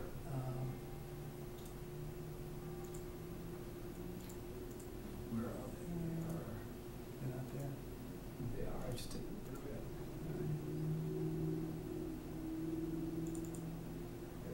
So the dimensions of the sign are approximately, it's, it's um, thirty-two inches off the ground, which is exactly the way the current sign is. It's, uh, God, is it uh, five feet or six feet? So it's over six. It's uh, fifty-eight inches tall on the sign itself. Uh, Ninety and a half inches. What is it? Ninety and a half inches. Uh, uh, total off the ground, yeah. Total off the Um, ground, So basically, that's the same as the Morton sign, it's a little shorter. I- It's, it's wider by basically twice, twice that size. Uh, so it's, it, it doesn't go Not any. blocking anybody's feet in half Well, he's gone now, no, um. So far. Yeah, so it's no different than the height as the current sign, it's, it's double the, the width, all right? That's the only difference. Right. Beautifully done. Uh, I have just one quick comment. Yeah. Um, and Jeff and I haven't talked about this yet, but I just saw the Pete Musgrove Ballpark, home of Newt Morton Field, Memorial Field. I thought it'd be more appropriate to go Newt Morton Memorial Field, home of Pete Musgrove Ballpark. I, do I, do I have that right? And- Well, you have it in, you have it in here. No, I think that's Newt right. Morton Is it Memorial right the Field. way it The park is bigger than the field. The park Right. contains the field. Okay, I thought it was, I thought it was the opposite. That's I saw, interesting, I yeah. saw it as the opposite. The ball, See, the whole point. You have the it, field you as the have, you, field, you have it opposite in here. I We're still gonna call it Morton Field, That's interesting. Yes, they will. but it's now only- housed in a complex that It's called the acknowledges. Right. the coach. Includes the uh, dugouts, scoreboard, the fences. Well, not the fence. Yeah, and the lights. Surrounding area of the ballpark. We have is split the photo. Morello. Contained the within field that is is the new Morton Field, the playing field. Um, Well, the way you had it worded in here was, was um, different, seemed simpler, just we had Newt Morton Memorial Field at Pete Musgrove Ballpark. Right. The at rather than home of. Right. Let's Yeah, that's not, let's okay. not litigate Home of that the- tonight. I'm just saying, he brought it up, I was just pointing out what he had in our, what we had in our proposal. Yeah, the original sign did have it reversed. Um, The Which is- sign vendor, who's done a lot of the signs in Reading, by the way, that, that you view every day, um, kinda gave me the idea to flip it, cause they said it's just, uh, symmetrically better, uh, to have the Muscarella on the top. So I like the home of kinda connotation there. It's all right. Yeah. Has the Reading seal on it as well. Are we, um, what do we do with the rules and regulations? Does that not a concern of yours? You put them somewhere We'll else? move, we're gonna move them probably down towards the right field corner. Okay. Um, so you'll- they'll still be visible when people come into the park. Probably just take that sign and, and just push it down. park in the right place, they can see it. Right, they'll see it Yeah, face out to the right parking lot. as they're entering from the pathway. Correct. Right. That would be the appropriate place. Mr. Chairman, you ready for a motion? Um, any, no comments, huh? No, I'm No? okay. Uh, move that the Board of Selectmen approve the installation of the Morton Field Muscarella ballpark sign. Second. All right, any discussion? No. Okay, all those in favor? Three zero. Really nice sign, well done. Thank you, Jeff, very much. Thanks for all you do. Thanks, thanks, John. I- Do we need, just we don't need a full board? Oh, I'll go, Motion to I'll go adjourn, fetch do them. You guys Go could adjourn before I get them. Paul would not, would Yeah. object. Yeah. Uh, I don't, I don't, I, I believe the Uh, chairman was we're not, doing more was not discuss- wait a minute. intending on resuming the, So um, we're not gonna, discussion. okay, that's fine. Um, but let's double check, I don't wanna speak for him, but I think that is the case. Do we have any more to discuss on the listening? Yeah, I mean, I think, yeah, I, I thought. We have a lot more to discuss Yeah. on the listening, but I don't know if we need to do it tonight. I don't know that we have, I certainly don't think at ten oh five is, Okay, fine. motion to adjourn. guys lighting these signs up? This is an LED sign, right? Yeah, we amended it Before slightly. we It's, do that, it's though, really can we garish just now. Talk about how, what, what we're gonna be doing next. Sure. Just Paula, you can go. Well, I- Yeah, yeah. yeah. Yes. Yeah, We're done with you. Go in peace.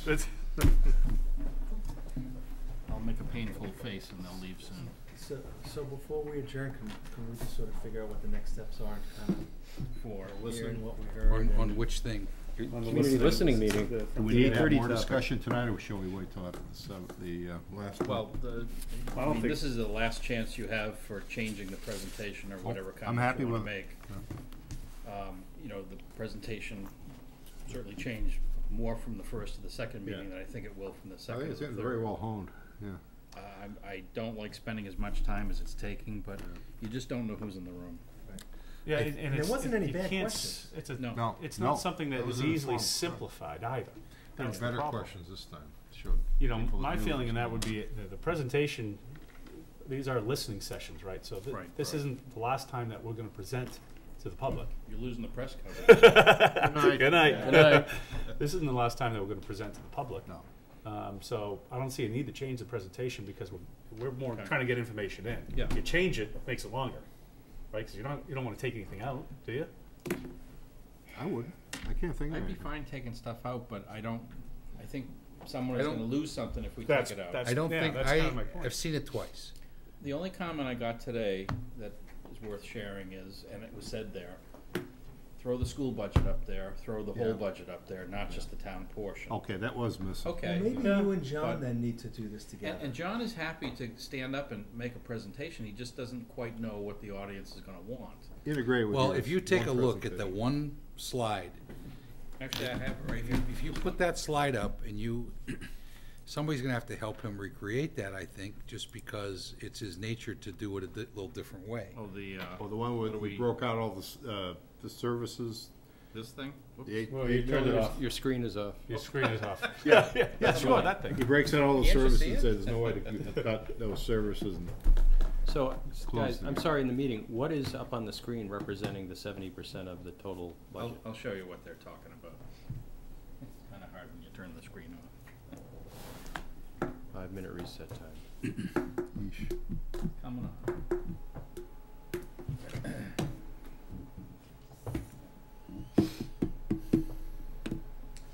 In response to some, uh, questions in the first meeting, you know, we were asking what services could you live without, and we were doing it sort of from a financial standpoint. And the, and the point was made, we're not involved in the budget process, we have no idea what you do. Give us some sense of how to balance a budget, we don't know what the problem is, we understand what you've told us. Okay, so how much money don't you have, and how do you, you know, what options do you have to cut? Um, because, you know, there's a, there's a variety of opinions, there's, there's a lot of trust, I'll say. But it's hard for people that don't follow the budget process, are not at town meeting, to know, what are you faced with? What is your exact problem that you're sitting in front of? So this slide here, mostly for John, John A.'s benefit, the town budget's twenty-five, twenty-six million. Seventeen million wages, eight million expenses. If, if we take the premise, which was discussed at the first meeting, oh, we don't wanna lay off any staff, okay, wages stay what they are in the current year. Um, you know, with, um, the resources available, if we don't use free cash, which was discussed today, the town will have to cut about nine hundred thousand out of it. Let's just pretend it's the FY seventeen budget, much easier. Yeah. We would have to have, uh, cut nine hundred thousand, and I went through really quickly, to cut nine hundred thousand out of an eight million dollar expense budget is very difficult. It's really impossible. Right. Because a lot of those expenses I would describe as fixed, whether you like it or not. Um, you have to have insurance for the town. Yeah. That's not gonna, let's just do eighty percent, you know, you gotta do it all. Veterans benefits, the full, the full thing. Technology, maybe you can make an argument, but most of those now are fixed costs. Um, There's really nothing to take away. you know, public works, you got rubbish, snow, and street lights, you're not gonna do fractions of those. Um, and then facilities, you got energy and maintenance, okay, you could, you don't have to do maintenance, maybe you do cut that in half.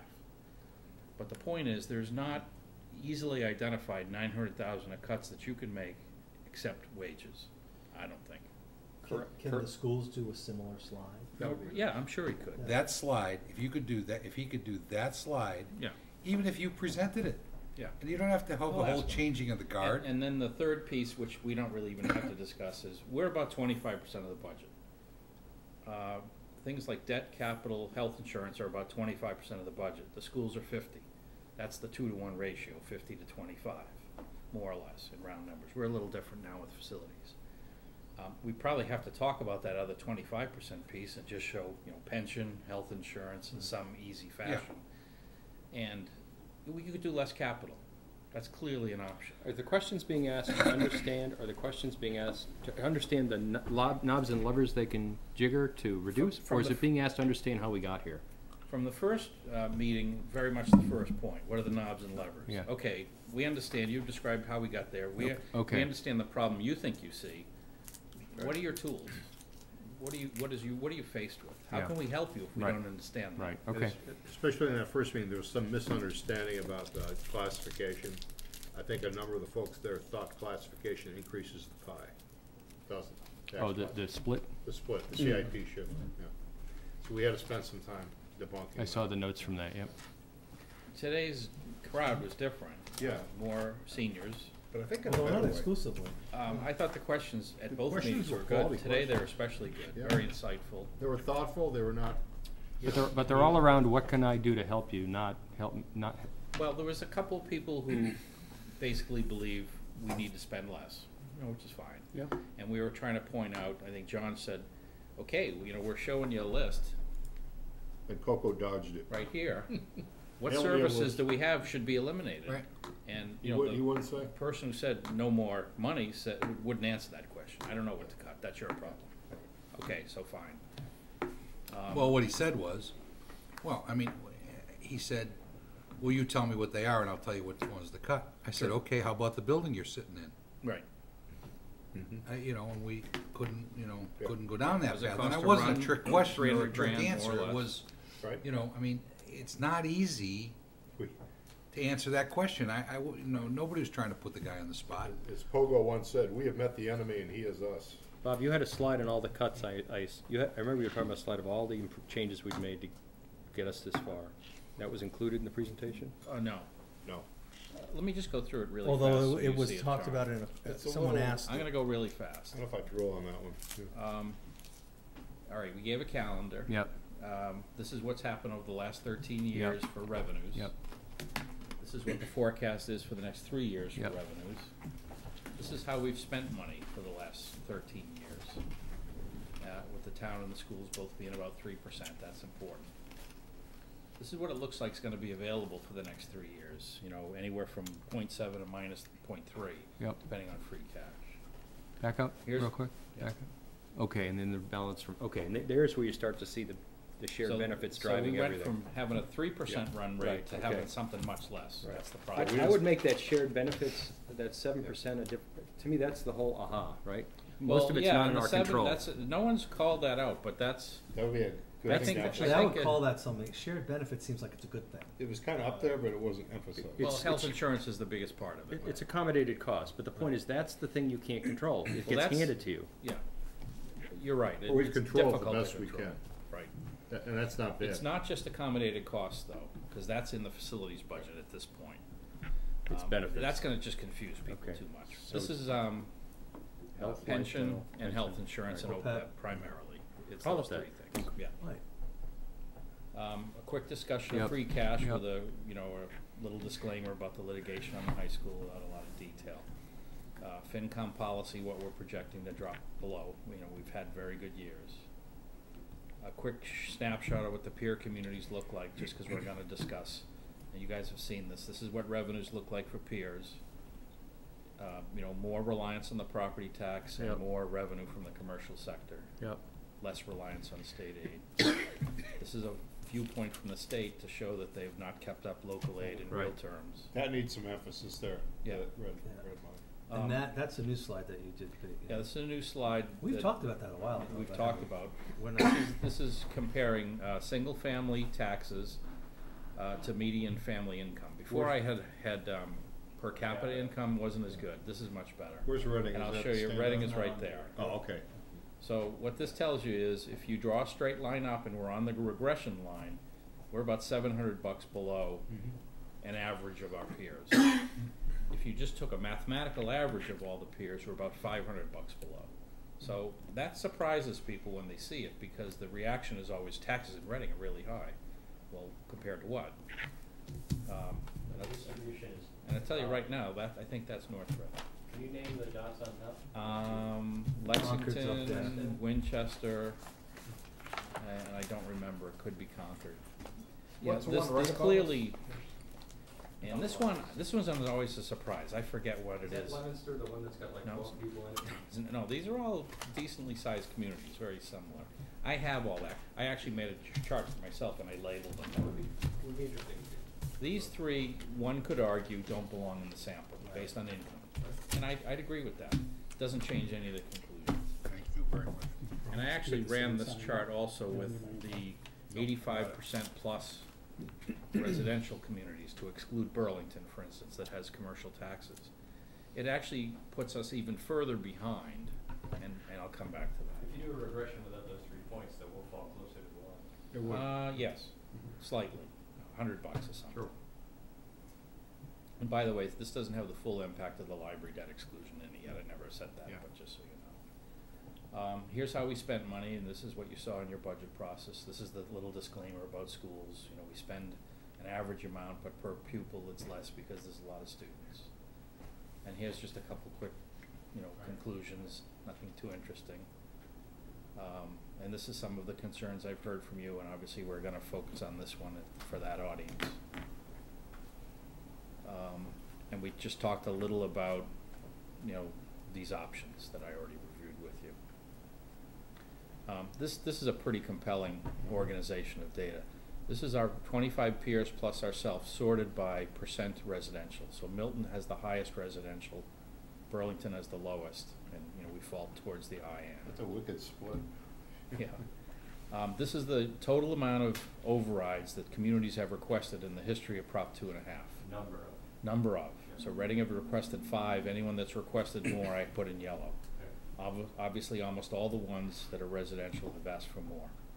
This is the most recent override request, not necessarily success. Um, all the ones that are since Reading, every community has done it on this side of the chart, since Reading has. Not all have succeeded, Stoneham failed. But all but Stoneham have passed an override since Reading last passed an override, at least one, if not more. This point says we're It shows that we're not being frivolous, that. Well, this know, shows you that, we're- we're yeah, fighting Reading the is same not battles standing out as everybody doing else. something wrong. Right. If anything, we're standing out, having waited a really long time to ask. Uh, and then this last column is the split. CNP. And, you know, you- not surprisingly, those that have commercial tend to tax them even more, because they can. And And again. they don't, and they're the ones that are doing the, They, they sort of don't need it, They don't but need it. why not? Let's pile on. And, you know, to much of the board's philosophical discussions, when your, s- when your s- commercial sector's low, you're not gonna get a well, lot. you know, of it. part of what, part of what could happen, look, intellectually speaking, I think it's a real reach. Practically speaking, I think it's, everything's gotta be on the table. Yeah. I think that, and that's what came out in the sessions too, is every, they, they, people said, people said, um, we generally believe you.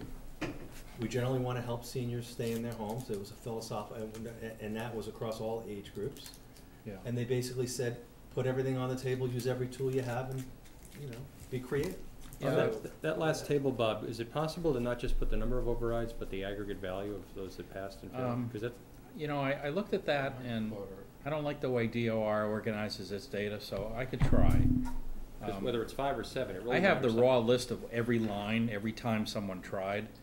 A lot of them are really small amounts. I'm trying, that's my point. Is sixteen more or less than seven overrides? Because you don't know the ag, Right. the Right. aggregate amount. Yeah, aggregate actually would be a good number. Yeah, that is interesting, yeah. Yeah, we're not gonna stand out as much. Hmm. The five looks low. Well, that, The then what- amount, What you get to say then is, the guys who's we doing only 50 ask when we need it and we, then we really Correct, we ask. do less big Right. ones and others are doing hmm. more small ones. Yeah, you can tell, and it's, maybe it's not intuitive from this slide, but who is it?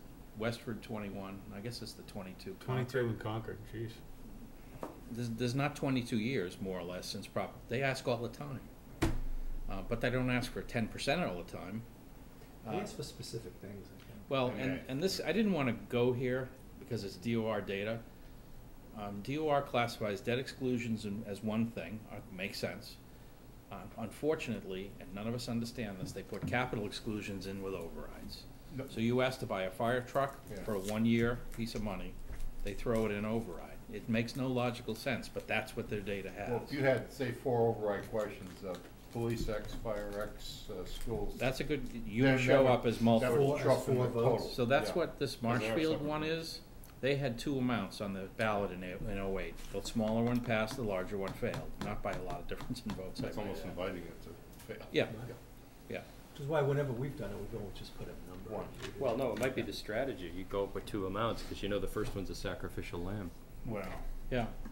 Um, I'll catch on to that pretty soon. I'm trying to think. No, I That won't help you in the long run. But it disappeared. So there's a lot of stuff here, but I think in general, you just kind of tell a quick story and you show, Mm-hmm. look, we're unusual by not asking. Look Yeah. at all the neighbors and the peers that look like us. They've all asked. You know, they've, most of them have passed an override. Remind me what yellow means again? Th- Since Reading did an override, oh, right, have they okay. done something? And it's, Yes or you know, no? Yeah. John asked me a question earlier, and, you know, it just happened the data worked out this way. Wakefield and Westford at eighty-four percent are not that different than Walpole at eighty-six, but those two columns look very different. There's a lot of yellow on the left, there's not much on the right. There's a reason for that.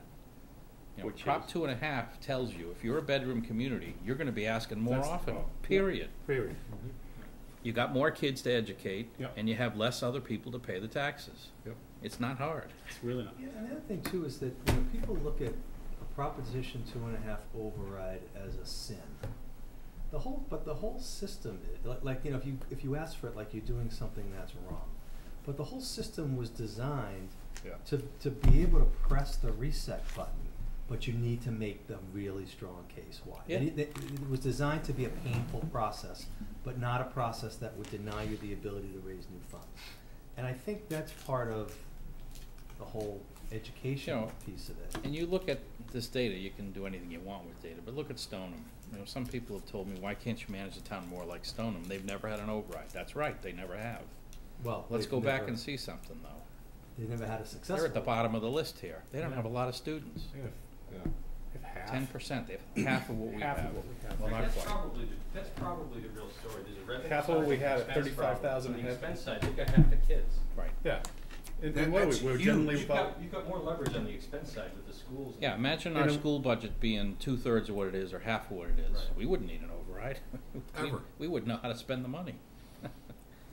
So, you know, there's a lot of pieces to this, but you try to simplify it as much as possible. It's just not a simple Make thing. it digestible. No, but even It's like in easy. both, in both of the sessions, the first question that was asked at both sessions was a finance one oh one. The first guy that says, can you tell me what an override is? I mean, Yeah. so we're always going under the assumption here, you know, we do this every day. Yeah. We know, but the people that were gonna be asked to kind of weigh in on this, we, we almost have to go back and do a whole, I mean, it's not just this stuff, And but I- just how do we finance government in I general? thought about that. We could add another ten minutes and give more of a background, but I said, let me just wait for them to ask. Right, which is probably the I right think thing you're better do. It's a off. listening But, but I, session. these are but I- listening sessions. But I I think don't- what's gonna tell is, is. But you don't want people to feel bad and it's like, geez, no, everyone else gets this. I don't. I don't wanna ask. Maybe it's one slide and you just go over it. Yeah, maybe. Well, that's There's a- gonna- There's a couple of great points on here. I love that point about the relative size of the schools. Do you make that during the presentation? Not in so many words Yeah, like I do, just yeah. did, but I, I do mention the reason Reading per pupil is low. It makes sense that the per pupil is low and we're spending an average amount or a little more than I average. think that's an important point. Yeah, it is. We're more heavily levered because of the schools, Yeah. right? than- Absolutely. Yeah. Reading v. Stoneham. Yeah, I- I mean, if, if you, if you have more students, you need more money. That's, that's clear. And, you know, I, what I said today, and some of the board members were horrified, is, you know, we'd love that you're the aging place, you're cheaper than kids. Oh, yeah, that was- Oh, it was hilarious. We're cheaper with you than we are with Yeah. the kids. Yeah. You know, But I it's had a true. person, I had a person talk to me It at is. the end of the evening, and, and Yeah. or at the end of the presentation, and, you know, she made a, an extremely astute point. She said, I, I honestly don't know, I, I really, she said, I really appreciate the work you guys are doing on behalf of seniors, to, you know, try to help us. She goes, I don't know if it's gonna be enough for me. Mm. I may have to sell my home, Yeah. is what she said, if an override passes. And she said, and you know what? You know, you're gonna get an extra, you know, fifteen hundred dollars or a thousand dollars of taxes from my home, and you're gonna be educating three kids. thirty-five thousand dollars worth of students. She's exactly right. Because she's, you know, she's living alone in a four-bedroom home. Yeah. Yeah. And that's why if, And the She's same, right. And the same would happen even if, let's say, we had really good senior house, you know, uh, where Right. people can They sell their that house today. and move to, you know, a place Right. close to downtown that we dedicate. you don't- you dedicated. don't want them selling. You're still gonna have the same. You are gonna have that same problem. problem. You're keeping the senior here, but then again, you're selling it to, they're selling it to someone who's gonna. yeah. And, you know- Well, that's why the in-law apartments was theoretically designed to slightly help.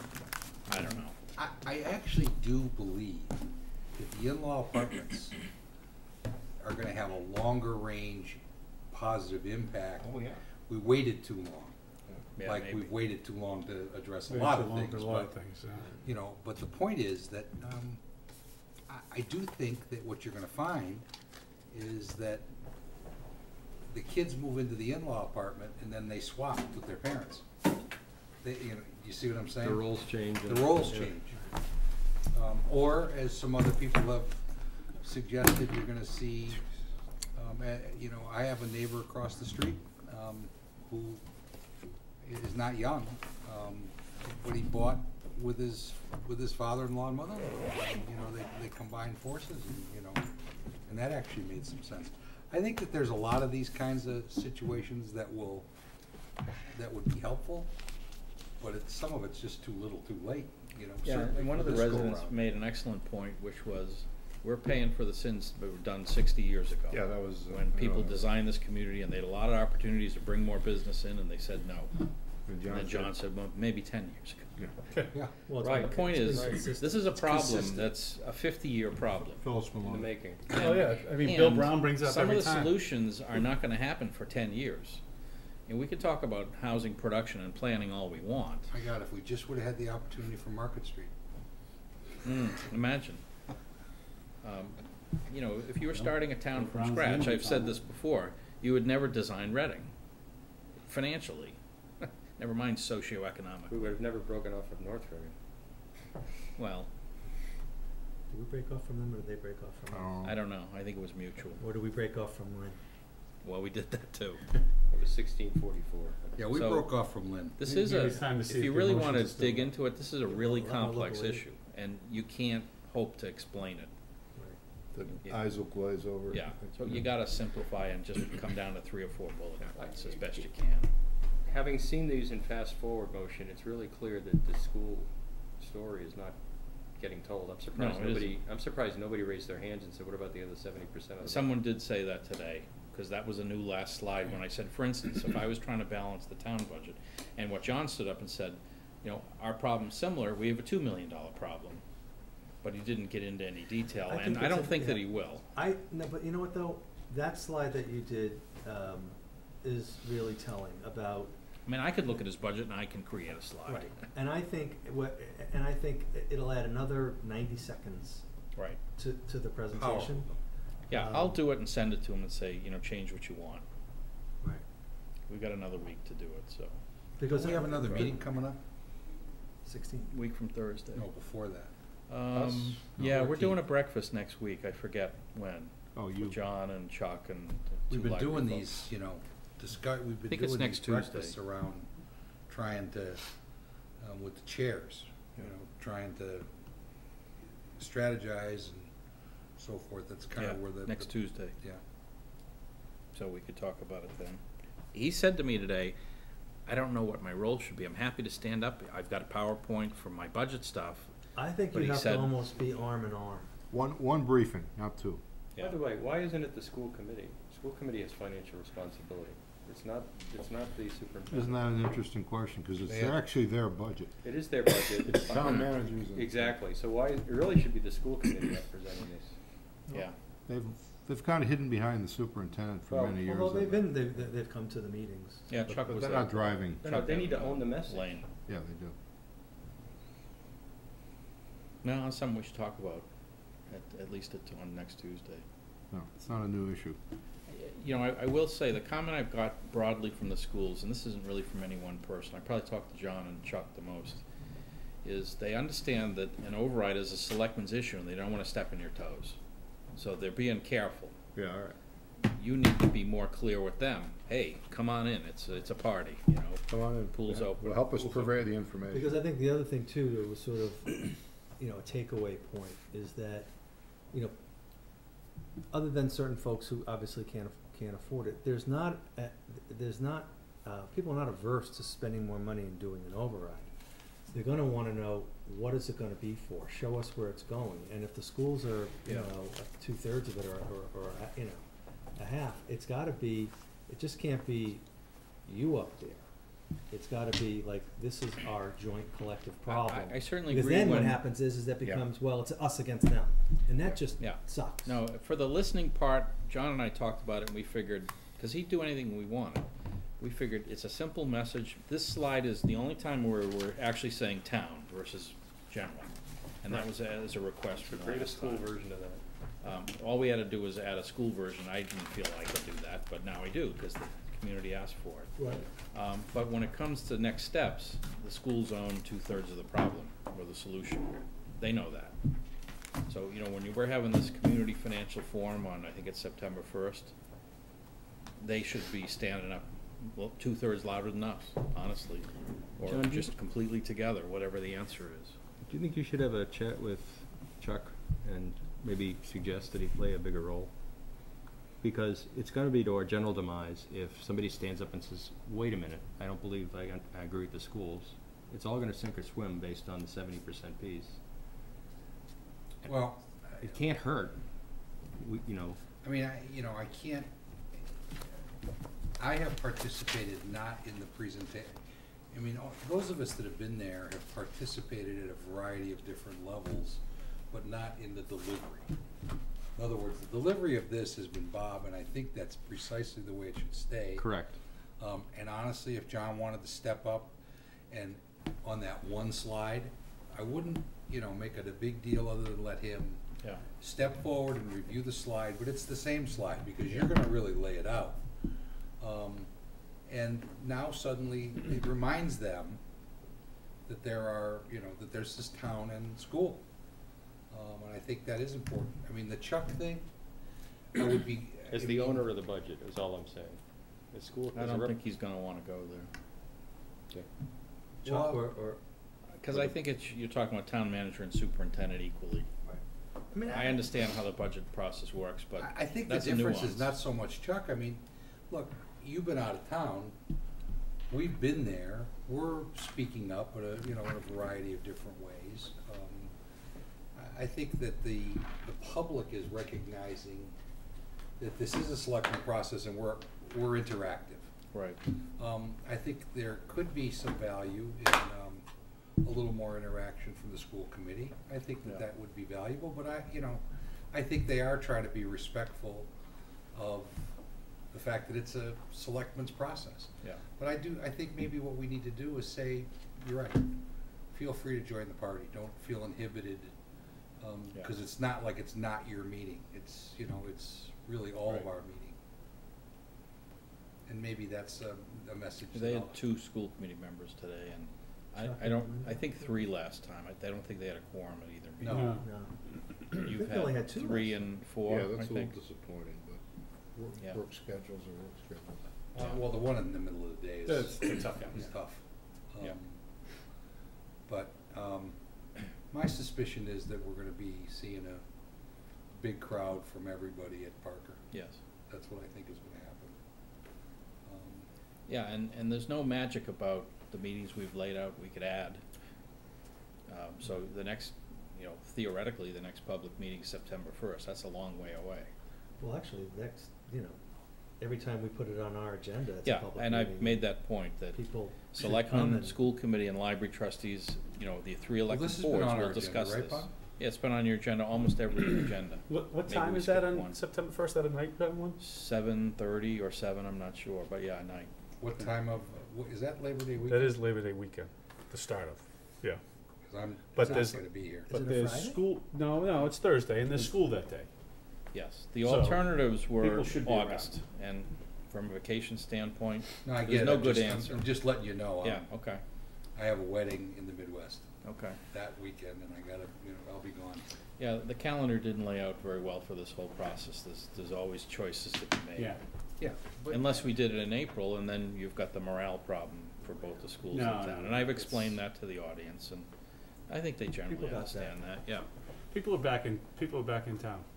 Yeah. So- that, so that, But- they'll, they'll go, You know, the general population is gonna wanna understand much more in black and white terms, what am I choosing? I wanna see a list. M- Melrose did a pretty thorough job and still lost. They said, this is what we're gonna add to the budget if you give us more money. They didn't have any cuts though. And it was all schools except maybe one or two police it officers. was They, they perceived, showed a it was list. perceived as a wanted override, not a needed Right. override, and that's why it lost. And, and the, and I don't know their situation well enough, but I know in Reading, cause I've had discussions with a couple school committee members that want and want and want, I said, this override's not a want. If, if you need to have some things, or if you, or rather, if you wanna have some things as part of it, go ahead and ask. But this is an operating budget override to continue what we're offering.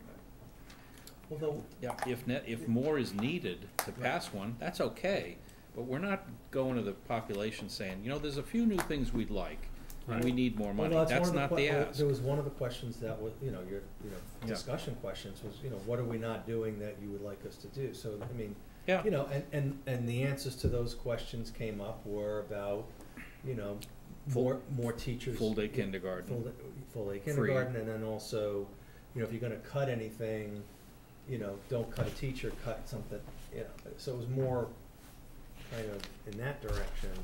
Well, you know, you get different answers from different people, but the general consistent message is don't cut public safety and don't cut the elderly, everything else is on the table. It was a Bill Brown said we could stop educating kids at fourteen. Well, I mean, yes, he Well, did. How come the superintendent did not stand up? and I'm not sure. I'm not sure if he was in He the room wasn't at in the the room. time. You know what, he, Oh, he I don't think he was, He was dealing with the lead and the water issue, so he was in and out. Running out. Although none of the school committee members were there stood up either, so. Yeah. They should, I mean, it- I've always been taught in a meeting, if something just wrong is said, somebody who knows the right answer is obliged to stand up and set the right. Yeah. Especially when a large number of people are being influenced. It's true. Yeah, but I don't think anybody believed what he said, No. so. It's a major faux pas. So I, I do expect the turnout in Parker will be large, so we Yeah. got the auditorium. Right. I can't remember if there's air conditioning there. No. I think it might be. Uh, RCTV's I gonna believe it cover it is. live. Well, they're gonna cover it and tape it. I'm not sure if it'll be live. They have the infrastructure for live there, I don't think so. I was just thinking of that. but it is air conditioned. Um, I'm trying to think of what Parker's air constituents. conditioned. Yeah, that plays there in I the think, summer. I think the auditorium only is, yeah.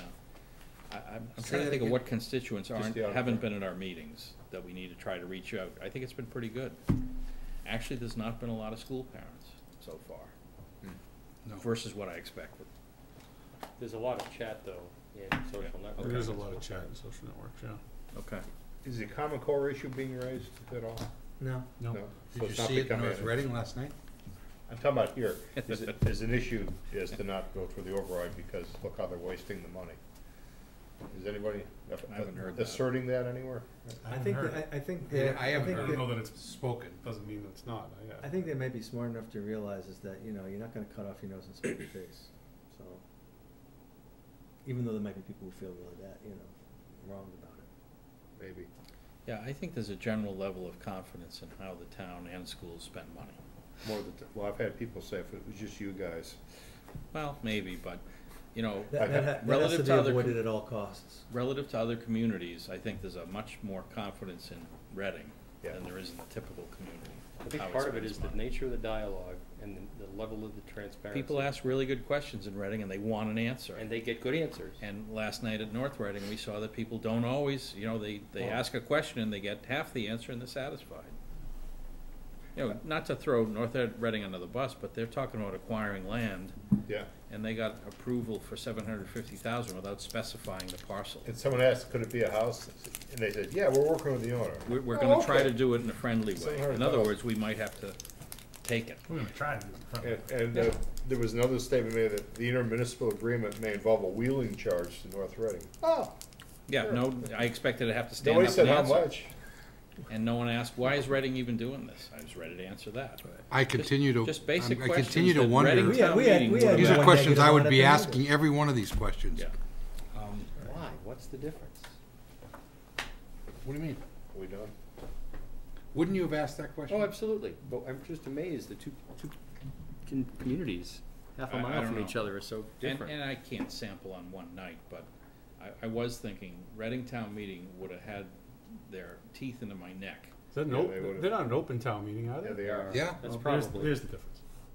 It That's- is. That accounts for probably a part of the difference, for sure. Eight thousand voters and you get hundred thirty. But that's, I mean, it's, so you got a different group showing up Yeah. for different things. I'm sure they're gonna So march there's in no- and out for the budget right I- after we I- left. I'm sure there's a small group that goes for everything. Yeah, but I think that there's it's a probably mi- some a minority. continuity to that. um, That's a big Because we saw, I, I saw a bunch of people at both of the events that we've been to. yeah, You know, Yep. the, you know, the public, you know, he- not public hearing, but the public discussion meeting that we went to. yeah. Um, I would say a large number of those people were there last night. I would agree with that, Um, and my guess is that many of those are regular yeah. attenders in nighttime government. Um, that's on what I that, think. and on that, yawn. Motion to adjourn? Motion to Second. Second? All in favor? Aye, aye. Fade to Ten. Forty-one. Ten forty-one.